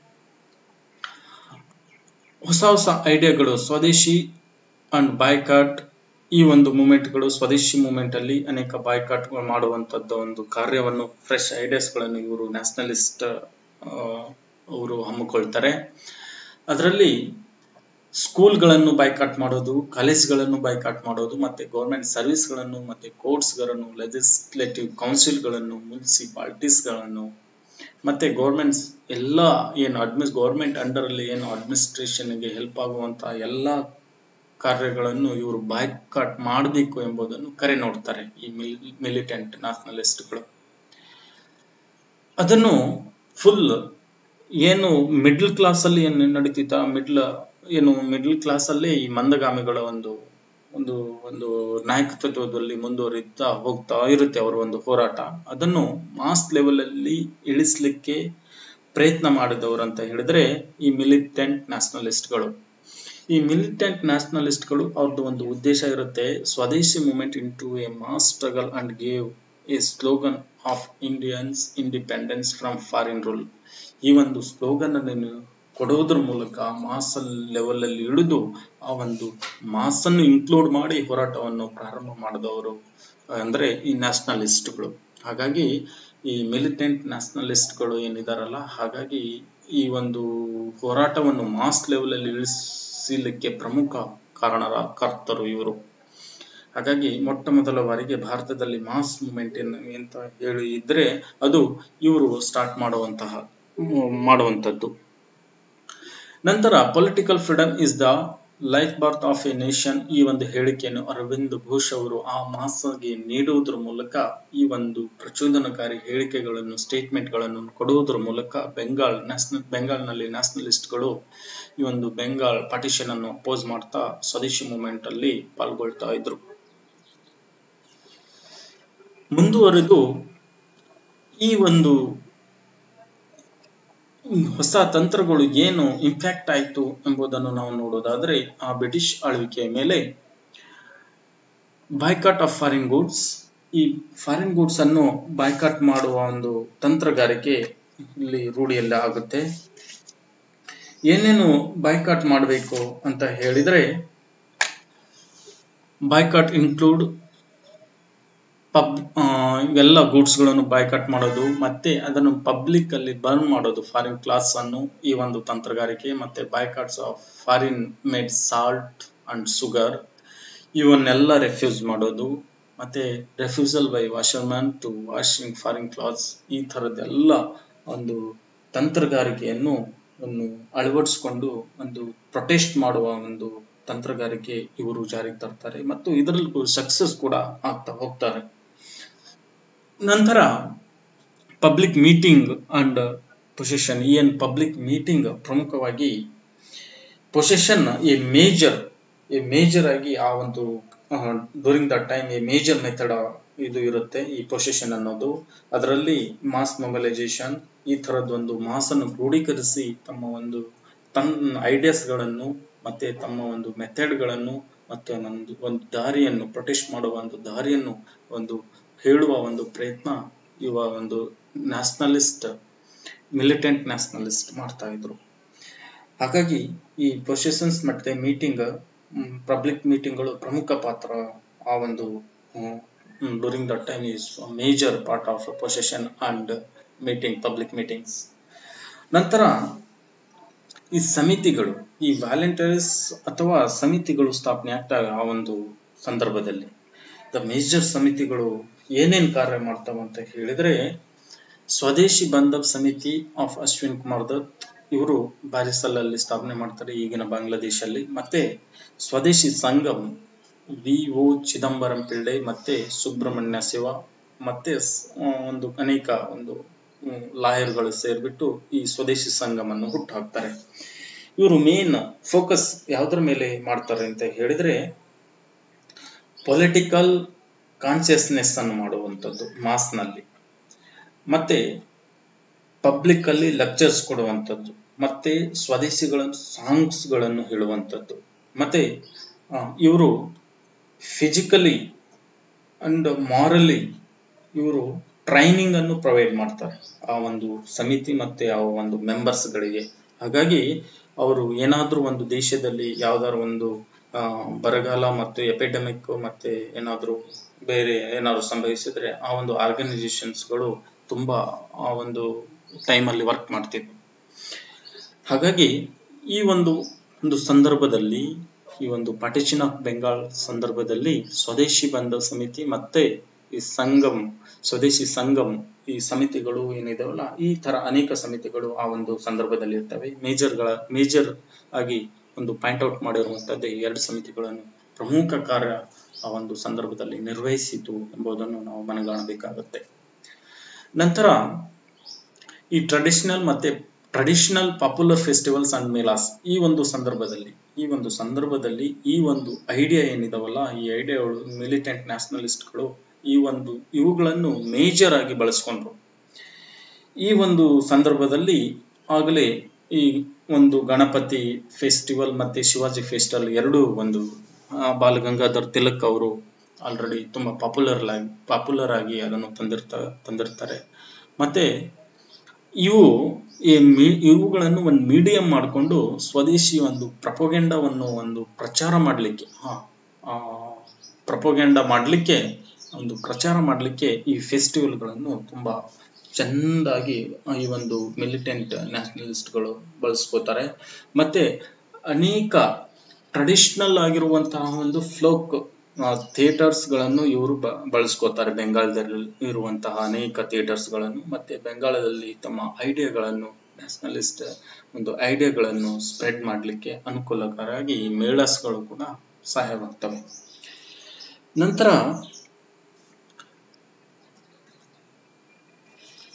ಏನು ಈ ಸೆಲ್ಫ್ ರಿಲಯನ್ಸ್ ಇದೆಯಲ್ಲ, ಈ ಸೆಲ್ಫ್ ರಿಲಯನ್ಸ್ ಅನ್ನು ಸಂಪೂರ್ಣವಾಗಿ ಈ ಒಂದು ಹಂತದಲ್ಲಿ ಏನು ಏನು ಈ ಹಂತವನ್ನು ಆತ್ಮಶಕ್ತಿ ಅಥವಾ ಸೆಲ್ಫ್ ರಿಲಯನ್ಸ್ ಅನ್ನೋದನ್ನು ಈ ಒಂದು ಸಂದರ್ಭದಲ್ಲಿ ಕೊಡ್ತಾರೆ. ಈ ಒಂದು ಹೆಚ್ಚು ಇಂಪಾರ್ಟೆನ್ಸ್ ಅನ್ನು ಕೊಟ್ಟು ಒಂದು ಇದರ ಮೂಲಕ ಒಂದು ಹೆಚ್ಚಿನದಾಗಿ ಒಂದು ಸುಧಾರಣೆ ತರುವಂತ ಕಾರ್ಯವನ್ನು ಪೀಪಲ್ಗಳಲ್ಲಿ ಈ ನ್ಯಾಷನಲಿಸ್ಟ್ಗಳು ಮಾಡ್ತಾರೆ. ಸಂಪೂರ್ಣವಾಗಿ ಇವು ಎಲ್ಲ ವಿಲೇಜ್ಗಳಲ್ಲಿ ಕೂಡ ಇವನ್ನು ಪ್ರಚಾರ ಮಾಡ್ತಾರೆ. ನಂತರ ಇದರ ಮೂಲಕ ಏನು ಒಂದು ಎಕನಾಮಿಕಲ್ ಆಗಿ ಮೇಲ್ ಬರಬೇಕು, ಮತ್ತೆ ಆತ್ಮಶಕ್ತಿ ಒಂದು ನ್ಯಾಷನಲ್ ಡಿಗ್ನಿಟಿಯನ್ನು ಒಂದು ಹೊಂದಿರಬೇಕು, ಮತ್ತೆ ಕಾನ್ಫಿಡೆನ್ಸ್ ಅನ್ನು ಬೆಳೆಸಬೇಕು, ಮತ್ತೆ social and economic generation of the villages. ಈ ಒಂದು ಶೋ ಸಾಮಾಜಿಕವಾಗಿ ಮತ್ತೆ ಎಕನಾಮಿಕ್ ಆಗಿ ಅವರಲ್ಲಿ ಒಂದು ತಿಳುವಳಿಕೆ, ಒಂದು ಹೇಳುವಂತ ಒಂದು ಪ್ರಯತ್ನವನ್ನು ಈ ಒಂದು ಸೆಲ್ಫ್ ರಿಲಯನ್ಸ್ ಒಂದು ಇದರ ಮೂಲಕನೇ ಮಾಡ್ತಾರೆ. ನಂತರ ಇದರಲ್ಲಿಯೇ ಈ ಮಿಲಿಟೆಂಟ್ ನ್ಯಾಷನಲಿಸ್ಟ್ಗಳು ಡೌರಿ ಸಿಸ್ಟಮ್ ಅನ್ನು ಅಪೋಸ್ ಮಾಡ್ತಾರೆ, ಮತ್ತೆ ಅರ್ಲಿ ಮ್ಯಾರೇಜ್ ಅನ್ನು ಅಪೋಸ್ ಮಾಡ್ತಾರೆ, ಮತ್ತೆ ಸೋಷಿಯಲ್ ಅನೇಕ ಸೋಷಿಯಲ್ ರಿಫಾರ್ಮೆನ್ಸ್ಗಳನ್ನು ಮತ್ತೆ ಒಂದು ಕಾಸ್ಟ್ ಸಿಸ್ಟಮ್ ಅನ್ನು ಕೂಡ ಇವರು ಅಪೋಸ್ ಮಾಡ್ತಾರೆ. ಮತ್ತೆ ಆಲ್ಕೋಹಾಲ್ ಕನ್ಸಂಪ್ಷನ್ ಏನಿದೆಯಲ್ಲ, ಇದನ್ನು ಕೂಡ ಈ ನ್ಯಾಷನಲಿಸ್ಟ್ಗಳು ಅವರೆಲ್ಲವನ್ನು ಸುಧಾರಣೆ ತರುವ ಒಂದು ಪ್ರಯತ್ನವನ್ನು ಮಾಡ್ತಾರೆ. ಈ ಸೆಲ್ಫ್ ರಿಲಯನ್ಸ್ ಈ ಒಂದು ಇದರಲ್ಲಿ, ಇದರ ಅಡಿಯಲ್ಲಿ. ನಂತರ program of Swadeshi and national education ಅಥವಾ ನ್ಯಾಷನಲ್ ಎಜುಕೇಶನ್ ಈ ಸ್ವದೇಶಿ ಅನ್ನೋದೇ ನಮ್ಮ ಒಂದು ನ್ಯಾಷನಲ್ ಅನ್ನು ಪ್ರತಿಬಿಂಬ ಪ್ರತಿಬಿಂಬಿಸುವಂಥದ್ದು. ಹಾಗಾಗಿ ಈ ನ್ಯಾಷನಲ್ ಎಜುಕೇಶನ್ ಈ ಏನು ಬ್ರಿಟಿಷರಿಂದ ಬಾಯ್ಕಾಟ್ ಮೂಮೆಂಟ್ ಅಲ್ಲಿ, ಸ್ವದೇಶಿ ಮೂಮೆಂಟ್ ಅಲ್ಲಿ ಅನೇಕ ಒಂದು ಬಾಯ್ಕಾಟ್ ಅನ್ನು ಮಾಡಿದ್ರು. ಶಾಲಾ ಕಾಲೇಜುಗಳನ್ನು ಕೋರ್ಟ್ಗಳನ್ನು ಎಲ್ಲಾ ತರ ಮಾಡಿದಾಗ, ಆ ಸ್ಟೂಡೆಂಟ್ಗಳ ಮೇಲೆ ಹೆಚ್ಚಿನದಾಗಿ ಎಜುಕೇಶನ್ಗೆ ಅವು ಬರ್ಡನ್ ಆಗ್ ಬರ್ಡನ್ ಆಗ್ತಾ ಬಂತು. ಅದನ್ನು ಅಂತ ಮನಗಂಡಂತಹ ನ್ಯಾಷನಲಿಸ್ಟ್ಗಳು ಅವರು ಒಂದು ಪ್ರಮುಖವಾಗಿ ಬೆಂಗಾಲ್ನಲ್ಲಿ ಒಂದು ಬೆಂಗಾಲ್ ಎಜುಕೇಶನ್ ಅಲ್ಲಿ ಬೆಂಗಾಲ್ ಕಾಲೇಜನ್ನು ಸ್ಥಾಪನೆ ಮಾಡ್ತಾರೆ, national education of Bengal. National educational university in Bengal ಈ ಒಂದು ಫೌಂಡೇಶನ್ ಮಾಡಿ, ಅದರಲ್ಲಿ ನ್ಯಾಷನಲ್ ಕೌನ್ಸಿಲ್ ಆಫ್ ಎಜುಕೇಶನ್ ಅದನ್ನು ಸೆಟ್ ಅಪ್ ಮಾಡಿ, ಅದರ ಅಡಿಯಲ್ಲಿ Bengal technology, technical institute and Bengal national college ಇವುಗಳನ್ನು ಎಸ್ಟಾಬ್ಲಿಷ್ ಮಾಡಿ, ಅದರ ಅಡಿಯಲ್ಲಿ ಕಾರ್ಯನಿರ್ವಹಿಸುವಂತೆ ಮಾಡ್ತಾರೆ ನ್ಯಾಷನಲಿಸ್ಟ್ಗಳು.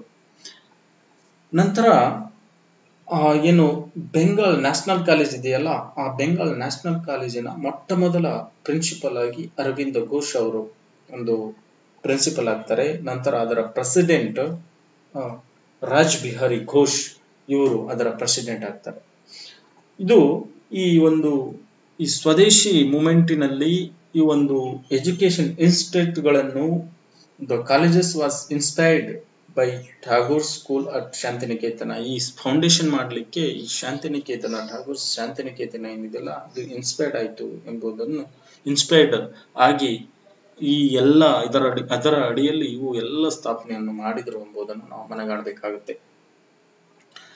ಪ್ರಮುಖವಾಗಿ ಈ ಸತೀಶ್ ಚಂದ್ರ ಮುಖರ್ಜಿ ಇದಾರಲ್ಲ, ಈ ಸತೀಶ್ ಚಂದ್ರ ಮುಖರ್ಜಿ ಆ ಒಂದು ಅವರು ಒಂದು ಹೋರಾಟದ ದಿನಮಾನಗಳಲ್ಲಿ ಡಾನ್ ಅಂತ ಅಂತ ಹೇಳಿ ಒಂದು ನ್ಯೂಸ್ ಪೇಪರ್ ಇರುತ್ತೆ. ಅದನ್ನು ಇವರು ಹದಿನೆಂಟುನೂರ ತೊಂಬತ್ತೇಳರಲ್ಲಿ ಪಬ್ಲಿಕೇಶನ್ ಮಾಡ್ತಾರೆ. ಒಂದು ಸರ್ಕ್ಯುಲೇಷನ್, ಅಲ್ಲಿಂದ ಇದು ಸರ್ಕ್ಯುಲೇಷನ್ ಆಗಲಿಕ್ಕೆ ಸ್ಟಾರ್ಟ್ ಆಗುತ್ತೆ. ನಂತರ ನೈನ್ಟೀನ್ ನಾಟ್ ಟೂ ಅಲ್ಲಿ ಡಾನ್ ಸೊಸೈಟಿ ಅದನ್ನು ಕೂಡ ಇವರು ಸೆಟ್ ಮಾಡ್ತಾರೆ. ಅದರ ಮೂಲಕ ಈ ಸೆಲ್ಫ್ ಹೆಲ್ಪ್ ಮತ್ತೆ ಸೆಲ್ಫ್ ಹೆಲ್ಪ್ ಮತ್ತೆ ಎಜುಕೇಶನ್ ನ್ಯಾಷನಲ್ ಎಜುಕೇಶನ್ ಬಗ್ಗೆ ಹೆಚ್ಚಿನದಾಗಿ ಒಂದು ಪ್ರಿಯಾರಿಟಿಯನ್ನು ಕೊಟ್ಟು ಇವರು ಅವನ್ನು ಒಂದು ಫೌಂಡೇಶನ್ ಮಾಡಿ ವಿದ್ಯಾರ್ಥಿಗಳಿಗೆ ಎಜುಕೇಶನ್ ನೀಡುವಂತ ಪ್ರಯತ್ನವನ್ನು ಮಾಡ್ತಾರೆ. ಮತ್ತೆ ಇವರನ್ನು ನ್ಯಾಷನಲ್ ಎಜುಕೇಶನ್ ಮೂಮೆಂಟಿನ ಒಂದು ಹರಿಕಾರ ಅಂತ ಹೇಳಿನೇ ಕರೀತಾರೆ ಇವನು ಸತೀಶ್ ಚಂದ್ರ ಮುಖರ್ಜಿ ಅವರನ್ನು. ನಂತರ ಹದಿನೆಂಟುನೂರ ತೊಂಬತ್ತೈದರಲ್ಲಿ ಭಾಗವತ್ ಚತುಷ್ಪತಿ ಎಂಬ ಒಂದು ಸಂಸ್ಥೆಯನ್ನು ಸ್ಥಾಪನೆ ಮಾಡಿ ಅದರ ಮೂಲಕ ಸಂಪೂರ್ಣವಾಗಿ ನ್ಯಾಷನಲ್ ಎಜುಕೇಶನ್ ಅನ್ನು, ಸಂಪೂರ್ಣ ಹೊಣೆಗಾರಿಕೆಯನ್ನು ಅದರ ಮೂಲಕ ಒಂದು ನೀಡುವಂತ, ಒಂದು ಇಟ್ಟುಕೊಳ್ಳುವಂತ ಪ್ರಯತ್ನವನ್ನು ಇವರು ಮಾಡ್ತಾರೆ. ಇವರು ಅರವಿಂದ್ ಘೋಷ್ ಅವರ ನಂತರ ಇವರು ಒಂದು ಕಲ್ಕತ್ತಾ ನ್ಯಾಷನಲ್ ಕಾಲೇಜಿನ ಪ್ರಿನ್ಸಿಪಲ್ ಆಗಿ ಕೂಡ ಇವರು ಕಾರ್ಯನಿರ್ವಹಿಸ್ತಾರೆ. ಹಾಗಾಗಿ ಮತ್ತೆ ಮೇಜರ್ ಮೋಸ್ಟ್ ಇಂಪಾರ್ಟೆಂಟ್ ಅಂತ ಹೇಳಿದ್ರೆ ನ್ಯಾಷನಲ್ ಎಜುಕೇಶನ್ ಅಲ್ಲಿ ಈ ವರ್ಣಕುಲ ಲ್ಯಾಂಗ್ವೇಜ್ ಅಲ್ಲಿ ಒಂದು ಬೋಧನೆ ಮಾಡುವಂತ ಒಂದು ಟೀಚಿಂಗ್ ಮಾಡುವಂತ ಒಂದು ಪ್ರವೃತ್ತಿಯನ್ನು ಬೆಳೆಸ್ತಾರೆ. ಇಲ್ಲಿ ಹೆಚ್ಚಿನದಾಗಿ ಇಲ್ಲಿ ಪಡೆದುಕೊಂಡಂತಹ ಒಂದು ಏನು ಸ್ಟೂಡೆಂಟ್ ಎಜುಕೇಶನ್ ಪಡೆದುಕೊಂಡಂತಹ ಸ್ಟೂಡೆಂಟ್ಗಳನ್ನು ಒಂದು ಜಪಾನ್ಗೆ ಅಡ್ವಾನ್ಸ್ ಎಜುಕೇಶನ್ಗೆ ಜಪಾನ್ಗೆ ಒಂದು ಸೆಂಡ್ ಮಾಡುವಂತ ಒಂದು ಪ್ರವೃತ್ತಿ ಇರುತ್ತೆ. ಹತ್ತೊಂಬತ್ ನೂರ ಐದರಲ್ಲಿ ಜಪಾನ್ ರಷ್ಯಾವನ್ನು ಸೋಲಿಸಿ ಆ ಒಂದು ಕದನದಲ್ಲಿ ಜಪಾನ್ ತುಂಬಾ ಮೇಜರ್ ಆಗಿ ಪ್ರತಿಬಿಂಬಿಸುತ್ತಿರುತ್ತೆ. ಹಾಗಾಗಿ ಜಪಾನ್ಗೆ ನಮ್ಮ ಇಂಡಿಯನ್ ಸ್ಟೂಡೆಂಟ್ಗಳು ಹೋಗ್ತಿದ್ರು ಎಂಬುದನ್ನು ನಾವು ಮನಗಾಣಬೇಕಾಗುತ್ತೆ. ನಂತರ ದಿನಮಾನಗಳಲ್ಲಿ ಈ ಸ್ವದೇಶಿ ಮೂಮೆಂಟ್ ಇಂದ ಮತ್ತೆ ಯಾವ ಏನು ಪ್ರಭಾವ ಬಿತ್ತು ಅಂತ ಹೇಳಿದ್ರೆ ಈ ಏನು ಸ್ವ ಉದ್ಯಮಿಗಳು, ಅಂದ್ರೆ ಸ್ವದೇಶಿ ಉದ್ಯಮಿಗಳು ಸ್ಟಾರ್ಟ್ ಆಗ್ತವೆ. ಮೇಜರ್ ಆಗಿ ವಿ ಒ ಚಿದಂಬರಂ ಪಿಳ್ಳೆ ಇವರು ಫಸ್ಟ್ ಒಂದು ಬಿಲ್ಡ್ ಒಂದು ಸಿಪ್ಪಿಂಗ್ ಬಿಲ್ಡರ್ ಅನ್ನು ಸ್ಥಾಪನೆ ಮಾಡ್ತಾರೆ. ಆ ಒಂದು ಅದನ್ನು ಸ್ಟಾರ್ಟ್ ಮಾಡ್ತಾರೆ. ಸ್ವದೇಶಿ ಸ್ಟೀಮ್ ನ್ಯಾವಿಗೇಷನ್ ಕಂಪನಿ ಆ ಒಂದು ಶಿಪ್ ಬಿಲ್ಡ್ ಎನ್ನುವುದನ್ನು ಸ್ಥಾಪನೆ ಮಾಡಿ, ಅದು ಎಲ್ಲಿ ಅಂದರೆ ಟುಟುಕೋರಿನಲ್ಲಿ ಅದು ಬ್ರಿಟಿಷರಿಗೆ ಒಂದು ಚಾಲೆಂಜ್ ಒಡ್ಡುವಂತಹ, ಬ್ರಿಟಿಷ್ ಇಂಡಿಯನ್ ಸ್ಟೀಮ್ ನ್ಯಾವಿಗೇಷನ್ ಕಂಪನಿಗೆ ಚಾಲೆಂಜ್ ಒಡ್ಡುವಂತಹ ಒಂದು ಪ್ರವೃತ್ತಿ ಸ್ವದೇಶಿ ಒಂದು ಮೂಮೆಂಟ್ ಕಾಲದಲ್ಲಿ ನಡೆಯುತ್ತೆ. ರವೀಂದ್ರನಾಥ್ ಈ ಸ್ವದೇಶಿ ಮೂಮೆಂಟ್ ಆ ಒಂದು ಸಂದರ್ಭದಲ್ಲಿ ಅದರ ಜೊತೆ ಜೊತೆ ಏನು ಉದ್ಯಮಿಗಳು ಏನಿದಾವಲ್ಲ, ಈ ಸ್ವದೇಶಿ ಟೆಕ್ಸ್ಟೈಲ್ ಮತ್ತೆ ಮಿಲ್ಸ್ಗಳು ಮತ್ತೆ ಸೋ ಫ್ಯಾಕ್ಟ್ರಿಗಳು ಮತ್ತೆ ಬ್ಯಾಂಕ್ಸ್ ಮತ್ತೆ ಸ್ವದೇಶಿ ಇನ್ಶೂರೆನ್ಸ್ ಕಂಪನೀಸ್ಗಳು ಸ್ವದೇಶಿ ಶಾಪ್ಸ್ಗಳು ಇವೆಲ್ಲ ಸ್ಟಾರ್ಟ್ ಆಗ್ತವೆ. ಮತ್ತೆ ಸ್ವದೇಶಿಯಾಗಿ ಬಿಸ್ನೆಸ್ಗಳು ಕೆಲವರು ಮಾಡೋರು ಒಂದು ಪೆಟ್ರಾಟಿಕ್ ಜಿಲ್, ಅದರಲ್ಲೇ ಒಂದು ಒಂದು ಒಂದು ಸ್ವದೇಶಿ, ಎಲ್ಲ ಸ್ವದೇಶಿಯಲ್ಲೇ ಸ್ಟಾರ್ಟ್ ಮಾಡ್ತಾರೆ.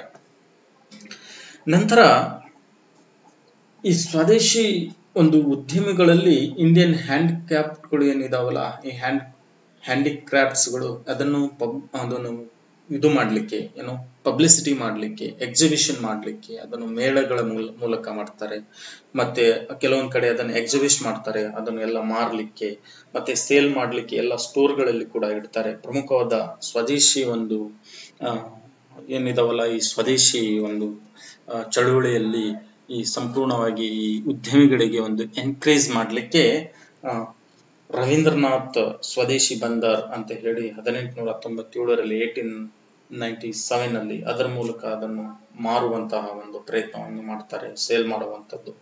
ನಂತರ ನೈನ್ಟೀನ್ ನಾಟ್ ಒನ್ನಲ್ಲಿ ನೈನ್ಟೀನ್ ನಾಟ್ ಒನ್ನಲ್ಲಿ ಜಗದೀಶ್ ಚಂದ್ರ ಚೌಧರಿ ಇಂಡಿಯನ್ ಸ್ಟೋರ್ ಇದರಲ್ಲಿ ಅದು ಹೆಚ್ಚಿನದಾಗಿ ಸ್ವದೇಶಿಯದ ಒಂದು ಪ್ರಾಡಕ್ಟ್ ಗಳನ್ನೇ ಸೇಲ್ ಮಾಡುವಂತ ಪ್ರಯತ್ನ ಮಾಡ್ತಾರೆ. Saraladevi Lakshmir Bhandar, nineteen naught three, ಇದರಲ್ಲಿ ಕೂಡ ಸ್ವದೇಶಿ ಒಂದು ಸ್ವದೇಶಿ ಪ್ರಾಡಕ್ಟ್ ಗಳನ್ನೇ ಸೇಲ್ ಮಾಡುವಂತ ಒಂದು ಸ್ಟೋರ್ ಗಳಾಗಿರ್ತವೆ. ಮತ್ತೆ ಅದಕ್ಕೆ ಹೆಚ್ಚಿನದಾಗಿ ಉತ್ತೇಜನವನ್ನು ಕೂಡ ನೀಡ್ತಾರೆ. ನಂತರ ಮೋಸ್ಟ್ ಇಂಪಾರ್ಟೆಂಟ್ ಪ್ರಫುಲ್ ಚಂದ್ರ ರೈ ಅನ್ನ ಪ್ರಮುಖ ವ್ಯಕ್ತಿ.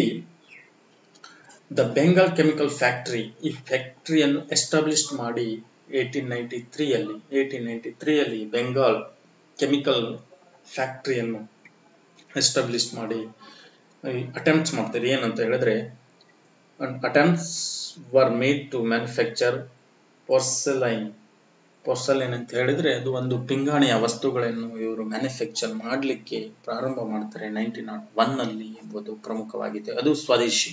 ಇದನ್ನು ಸುಮಿತ್ ಸರ್ಕಾರ್ ಅವರು ಪಾಯಿಂಟ್ ಔಟ್ ಮಾಡಿದ್ದಾರೆ ಸುಮಿತ್ ಸರ್ಕಾರ್ ಅದು ಮೇಜರ್ ಆಗಿ ಪಾಯಿಂಟ್ ಔಟ್ ಮಾಡಿರುವಂತದ್ದು ನಂತರ ಇದು ಸ್ವದೇಶಿ ಇಂಟರ್ಪ್ರೈಸಸ್ ಇದು ಒಂದು ಉದ್ಯಮತೆ, ಉದ್ಯಮಶೀಲತೆ, ಇದು ಸ್ವದೇಶಿಯಾಗಿ ಹೇಗೆ ಬೆಳೀತು ಎಂಬುದನ್ನು ನೋಡಿದ್ವಿ. ನಂತರ ಇನ್ಫ್ಯಾಕ್ಟ್ ಈ ಕಲ್ಚರ್ ಮೇಲೆ ಏನ್ ಇನ್ಫ್ಯಾಕ್ಟ್ ಆಯ್ತು ಎಂಬುದನ್ನು ನಾವು ನೋಡೋದಾದ್ರೆ, ಪ್ರಮುಖವಾಗಿ ಈ ಒಂದು ಸಂದರ್ಭದಲ್ಲಿ ಅನೇಕ ಅನೇಕ ಅಂದ್ರೆ ಅನೇಕ ರಾಷ್ಟ್ರೀಯ ಒಂದು ದೇಶಭಕ್ತಿ ಗೀತೆಗಳು ಬ ಬರೆಯಲ್ಪಟ್ಟವು ಅದರಲ್ಲಿ ಪ್ರಮುಖವಾಗಿ ರವೀಂದ್ರನಾಥ್ ಠಾಗೂರ್ ಅವರ ನಮ್ಮ ಜನಗಣಮನ, ಅದು ಕೂಡ ರಾಷ್ಟ್ರಗೀತೆ. ರಜನಿಕಾಂತ್ ಸೇನ್ ದ್ವಿಜೇಂದ್ರ ಲಾಲ್ ರಾಯ್ ಮುಕುಂದ್ ದಾಸ್, ಸೈಯದ್ ಅಬು ಮೊಹಮ್ಮದ್ ಮತ್ತೆ ಅನೇಕರು. ಅದರಲ್ಲಿ ಪ್ರಮುಖವಾಗಿ ದೇಶಭಕ್ತಿ ಗೀತೆಗಳನ್ನು ಇವರು ಬರೀಲಿಕ್ಕೆ ಸ್ಟಾರ್ಟ್ ಮಾಡ್ತಾರೆ. ಮತ್ತೆ ಅದು ಒಂದು ರಾಷ್ಟ್ರೀಯ ಚಳುವಳಿಗೆ ಒಂದು ಸಂಪೂರ್ಣವಾಗಿ ಅದು ಒಂದು ಬೆಂಬಲವಾಗಿ ಒಂದು ಒಂದು ಯಾವಂದ್ರೆ ಪ್ರಚೋದನಕಾರಿಯಾಗಿ ಆ ಒಂದು ನ್ಯಾಷನಲಿಸ್ಟ್ ಗಳಿಗೆ ಒಂದು ಕಾನ್ಫಿಡೆನ್ಸ್ ಅಂತ ಕೊಡುವಂತ ಒಂದು ಸಾಂಗ್ಗಳನ್ನು ಅವರು ಬರೀತಾರೆ. ಅನೇಕ ದೇಶ ಗೀತೆಗಳು ರಚನೆಯಾದವು ಈ ಒಂದು ಸಂದರ್ಭದಲ್ಲಿ. ಮತ್ತೆ ಈ ಒಂದು ಸಂದೇಶ್ ಗೀತಂ, ಈ ಸಂದೇಶ್ ಗೀತಂ ಇವರು ಮದ್ರಾಸ್ ಪ್ರಾಂತ್ಯದವರಾದಂತಹ ಸುಬ್ರಹ್ಮಣ್ಯ ಭಾರತಿಯವರು, ಇವರು ಕೂಡ ಈ ಸಂದೇಶ್ ಗೀತಮ್ ಅನ್ನು ಬರೀತಾರೆ.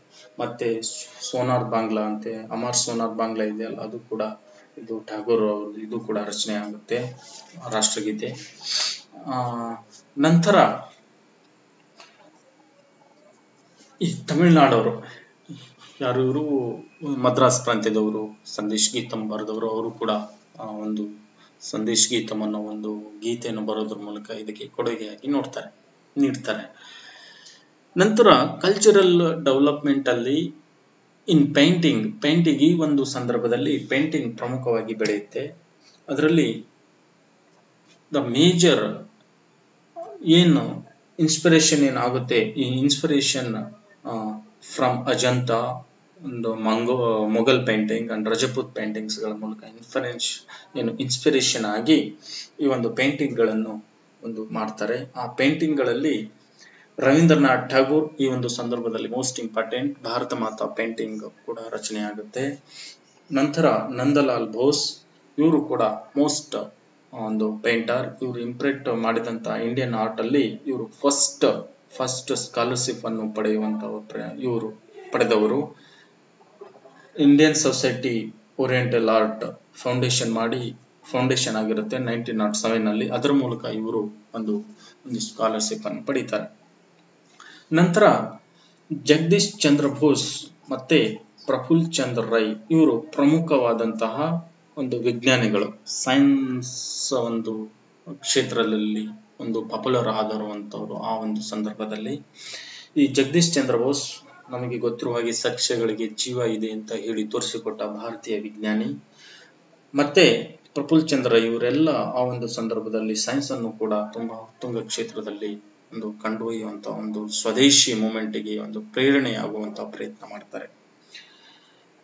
ನಂತರ ಇದರಲ್ಲಿ ಮಾಸ್ ಯಾವ ತರ ಒಂದು ಅದರಲ್ಲಿ ಇನ್ಕ್ಲೂಡ್ ಆಗಿ ಆ ಪೊಸಿಷನ್ಗಳಲ್ಲಿ ಪಾಲ್ಗೊಳ್ತು ಎಂಬುದನ್ನು ನಾವು ನೋಡಬೇಕಾಗತ್ತೆ. ಅದರಲ್ಲಿ ಸ್ಟೂಡೆಂಟ್ಸ್ಗಳು ಮತ್ತೆ ವುಮೆನ್ಸ್ಗಳು ನಾವು ಮೇಜರ್ ಆಗಿ ನೋಡೋದಾದ್ರೆ, ಅನೇಕ ಒಂದು ಫಾರಿನ್ ಗೂಡ್ಸ್ಗಳನ್ನು ಮಾರುವಂತಹ ಶಾಪ್ಸ್ಗಳ ಶಾಪ್ಸ್ಗಳ ಒಂದು ಬಳಿಯಲ್ಲಿ ಪಿಕೆಟಿಂಗ್ ಮಾಡುವಂತಹ ಒಂದು ಕಾರ್ಯದಲ್ಲಿ ಈ ಒಂದು ಸ್ಟೂಡೆಂಟ್ಸ್ಗಳು ಮತ್ತೆ ವುಮೆನ್ಸ್ಗಳು ಪ್ರಮುಖವಾಗಿ ಅವರು ಪಾತ್ರ ವಹಿಸ್ತಾರೆ. ಅಂದ್ರೆ ಆ ಒಂದು ಫಾರಿನ್ಸ್ ಗೂಡ್ಸ್ಗಳನ್ನು ಮತ್ತೆ ಆಲ್ಕೋಹಾಲ್ಗಳನ್ನು ಏನ್ ಮಾಡ್ತಾರಲ್ಲ, ಆ ಒಂದು ಸೇಲ್ ಮಾಡುವಂತ ಒಂದು ಶಾಪ್ಗಳ ಎದುರಿನಲ್ಲಿ ಒಂದು ಒಂದು ನಿಂತಿ ಒಂದು ಬರುವರನ್ನು ತಡೆಯುವಂತ ಒಂದು ಪ್ರಯತ್ನ ಪಿಕೆಟಿಂಗ್ ಮಾಡುವಂತ ಪ್ರಯತ್ನ ಮಾಡ್ತಾರೆ. ಮೇಜರ್ ಆಗಿ ಸ್ಟೂಡೆಂಟ್ ಪಾರ್ಟಿಸಿಪೇಷನ್ ಆದವರು ಅಂತ ಹೇಳಿದ್ರೆ ಬೆಂಗಾಲ್ ಮಹಾರಾಷ್ಟ್ರ ಪೂನಾ ಮತ್ತೆ ಮದ್ರಾಸ್ ಸೌತ್ ಗುಂಟೂರು ಇದರಲ್ಲಿ ಆಕ್ಟಿವ್ ಆಗಿ ಪಾರ್ಟಿಸಿಪೇಷನ್ ಮಾಡ್ತಾರೆ. ಮತ್ತೆ ಅನೇಕ ಸ್ಟೂಡೆಂಟ್ಗಳು ಪೊಲೀಸರ ಒಂದು ಲಾಠಿ ಈಟಿಗೆ ಬಲಿಯಾಗ್ತಾರೆ. ಮತ್ತೆ ಅವರ ಒಂದು ಸಂಪೂರ್ಣವಾಗಿ ಆ ಸ್ಕೂಲ್ಗಳನ್ನು ಮತ್ತೆ ಕಾಲೇಜುಗಳಲ್ಲಿ ಅವರಿಗೆ ಸಂಪೂರ್ಣವಾಗಿ ಅವರ ಒಂದು, ಆ, ಎಲ್ಲದನ್ನು ಡಿಸ್ಕ್ವಾಲಿಫೈಡ್ ಮಾಡ್ತಾರೆ. ಮತ್ತೆ ಯಾವುದೇ ತರ ಒಂದು ಗೌರ್ಮೆಂಟ್ ಜಾಬ್ಗೆ ಇವರು ಕ್ವಾಲಿಫೈ ಎಲ್ಲೋ ಅಲ್ಲ ಎಂಬುದನ್ನು ಅವರು ಡಿಸ್ಕ್ವಾಲಿಫೈ ಮಾಡಿ ಅವರನ್ನ ಹೊರ ಹಾಕ್ತಾರೆ ನಂತರ ಅಷ್ಟೇ ಸಾಲದ ಅಂತ ಹೇಳಿ ಅವ್ರ ಮೇಲೆ ಕೇಸ್ಗಳನ್ನು ಮಾಡಿ ಅವರಿಗೆ ಒಂದು ಜೈಲಿಗೆ ಕಳಿಸುವಂತಹ ಪ್ರಯತ್ನವನ್ನು ಮಾಡ, ಮಾಡ್ತಾರೆ. ಸ್ಕಾಲರ್ಶಿಪ್ಗಳನ್ನು ಅವರಿಗೆ ರೆಡ್ಯೂಸ್ ಮಾಡ್, ಇದು ಸಂಪೂರ್ಣವಾಗಿ ನಿಲ್ಲಿಸ್ತಾರೆ. ಯಾವುದೇ ಗ್ರಾಂಟ್ ಇರೋದಿಲ್ಲ. ಮತ್ತೆ ಅವ್ರ ಮೇಲೆ ಡಿಸಿಪ್ಲಿನರಿ ಆಕ್ಷನ್ಗಳನ್ನು ಅವರು ತಗೊಂಡು ಅವರಿಗೆ ಅರೆಸ್ಟ್ ಮಾಡಿ ಅವರಿಗೆ ಲಾಠಿ ಏಟುಗಳನ್ನು ನೀಡುವ ಒಂದು ಒಂದು ಈ ಒಂದು ಚಳುವಳಿಯಲ್ಲಿ ಹೆಚ್ಚಿನದಾಗಿ ನಡೆಯುತ್ತೆ. ಇದು ಸ್ಟೂಡೆಂಟ್ಗಳ ಒಂದು ಪಾಡಾಗಿರುತ್ತೆ. Nineteen nought nineteen nought seven, nineteen nought eight ಒಂದು ಸಂದರ್ಭ ಇದೆಯಲ್ಲ? ಏನು ನಮ್ಮ ಸ್ವದೇಶಿ ಮೂಮೆಂಟ್ ಆ ಒಂದು ಸಂದರ್ಭದಲ್ಲಿ. ಮತ್ತೆ ವುಮೆನ್ಗಳು ಆಕ್ಟಿವ್ ಆಗಿ ಪಾರ್ಟಿಸಿಪೇಟ್ ಮಾಡ್ತಾರೆ. ಎಲ್ಲಿ ಅಂತ ಹೇಳಿದ್ರೆ ಮೇಜರ್ ಆಗಿ ಪೊಸಿಷನ್ಗಳಲ್ಲಿ ಮತ್ತೆ ಪಿಕೆಟಿಂಗ್ ಪಾಯಿಂಟ್ಗಳಲ್ಲಿ ಈ ಒಂದು ಮಿಡ್ಲ್ ಕ್ಲಾಸ್ ವುಮೆನ್ಗಳು ಆ ಒಂದು ಸಂದರ್ಭದಲ್ಲಿ ಲೋ ಕ್ಲಾಸ್ ವುಮೆನ್ಗೆ ಎಷ್ಟೊಂದು ಅವೇರ್ನೆಸ್ಗಳನ್ನು ಇರುವುದಿಲ್ಲ. ಈ ಮಿಡ್ಲ್ ಕ್ಲಾಸ್ ವುಮೆನ್ಸ್ಗಳು ಏನಿರ್ತಾರಲ್ಲ ಅಲ್ಲಿ ಜಾಸ್ತಿ ಪಿಕೆಟಿಂಗ್ ಮತ್ತೆ ಮತ್ತೆ ಈ ಪೊಸಿಷನ್ಸ್ಗಳಲ್ಲಿ ಹೆಚ್ಚಿನದಾಗಿ ಭಾಗವಹಿಸುವ ಮೂಲಕ ತಮ್ಮ ಒಂದು ಪಾತ್ರವನ್ನು ಮೆರೀತಾರೆ ಮತ್ತೆ ಅದೇ ತ ಅದೇ ನಿಟ್ಟಿನಲ್ಲಿ ಅನೇಕ ಒಂದು ಸ್ವದೇಶಿ ಮೂಮೆಂಟ್ಗೆ ಒಂದು ಪ್ರೇರಣೆ ಇನ್ಸ್ಪಿರೇಷನ್ ಆಗಿ ಅನೇಕ ಒಂದು ಸ್ಟ್ರೈಕ್ಗಳನ್ನು ಕೂಡ ಈ ಒಂದು ವರ್ಕರ್ಸ್ ಮಾಡ್ತಾರೆ. ಅದರಲ್ಲಿ ಮೇಜರ್ ಆಗಿ ನಾವು ನೋಡೋದಾದರೆ ರೈಲ್ವೇಸ್ ಈ ಒಂದು ರೈಲ್ವೇಸ್ ಯೂನಿಯನ್ಗಳು ಏನು ಮಾಡುವಂತಹ ಸ್ಟ್ರೈಕ್ ಗಳಾಗಿರ್ಬೋದು ನೈನ್ಟೀನ್ ನಾಟ್ ಸಿಕ್ಸ್ ಅಲ್ಲಿ ನೈನ್ಟೀನ್ ನಾಟ್ ಏಟ್ ಅಲ್ಲಿ ಅವರು ಈಸ್ಟ್ ರೈ ಈಸ್ಟರ್ನ್ ರೈಲ್ವೆ ಯೂನಿಯನ್ಸ್ ಅದು ಮೇಜರ್ ಆಗುತ್ತೆ. ನಂತರ ಪ್ರಮುಖವಾಗಿ ಚಿದಂಬರಂ ಪಿಳ್ಳೆ ಮತ್ತೆ ಆ, ಸುಬ್ರಹ್ಮಣ್ಯನ್ ಶಿವ ಸುಬ್ರಹ್ಮಣ್ಯ ಶಿವ ಇವರು ಪ್ರಮುಖವಾಗಿ ಟುಟಿಕೋರಿನಲ್ಲಿರುವಂತಹ ಮತ್ತೆ ತಿರುನಲ್ವೇಲಿಯಲ್ಲಿರುವಂತಹ ಫಾರಿನ್ ಓನರ್ಗಳ ಒಂದು ಕಾಟನ್ ಮಿಲ್ಗಳೇನಿದಾವಲ್ಲ ಅದರ ಒಂದು ವರ್ಕರ್ಸ್ಗಳನ್ನು ಜಾಸ್ತಿ ಇವರು ಸ್ಟ್ರೈಕ್ ಮಾಡಿಸುವಂತಹ ಒಂದು ಇವರ ಒಂದು ನೇತೃತ್ವದಲ್ಲಿ ಸ್ಟ್ರೈಕ್ ಆಗುವಂತಹ ಒಂದು ಪ್ರಯತ್ನ ನಡೆಯುತ್ತೆ. ಮತ್ತೆ ಪಂಜಾಬ್ನಲ್ಲಿ ಲಾಲ್ ಲಜಪತ್ ರಾಯ್ ಅವರು ಒಂದು ಹೆಚ್ಚು ಒಂದು ಅಲ್ಲಿ ರೈಲ್ವೇಸ್ ವರ್ಕರ್ಸ್ಗಳ ಯೂನಿಯನ್ ಒಂದು ಒಂದು ನಾಯಕತ್ವವನ್ನು ವಹಿಸಿಕೊಂಡು ಅಲ್ಲಿ ಒಂದು ಸ್ಟ್ರೈಕ್ ಮಾಡುವಂತಹ ಪ್ರಯತ್ನವನ್ನು ಮಾಡ್ತಾರೆ. ನಂತರ ದಿನಮಾನಗಳಲ್ಲಿ ಈ ಅಜಿತ್ ಸಿಂಗ್ ಮತ್ತೆ ಲಾಲ್ ಲಜಪತ್ ಅವರನ್ನು ಗಡಿಪಾರು ಮಾಡುವುದನ್ನು ಹತ್ತೊಂಬತ್ ನೂರ ಎಂಟರಲ್ಲಿ ಕೂಡ ನಾವು ನೋಡ್ತೀವಿ.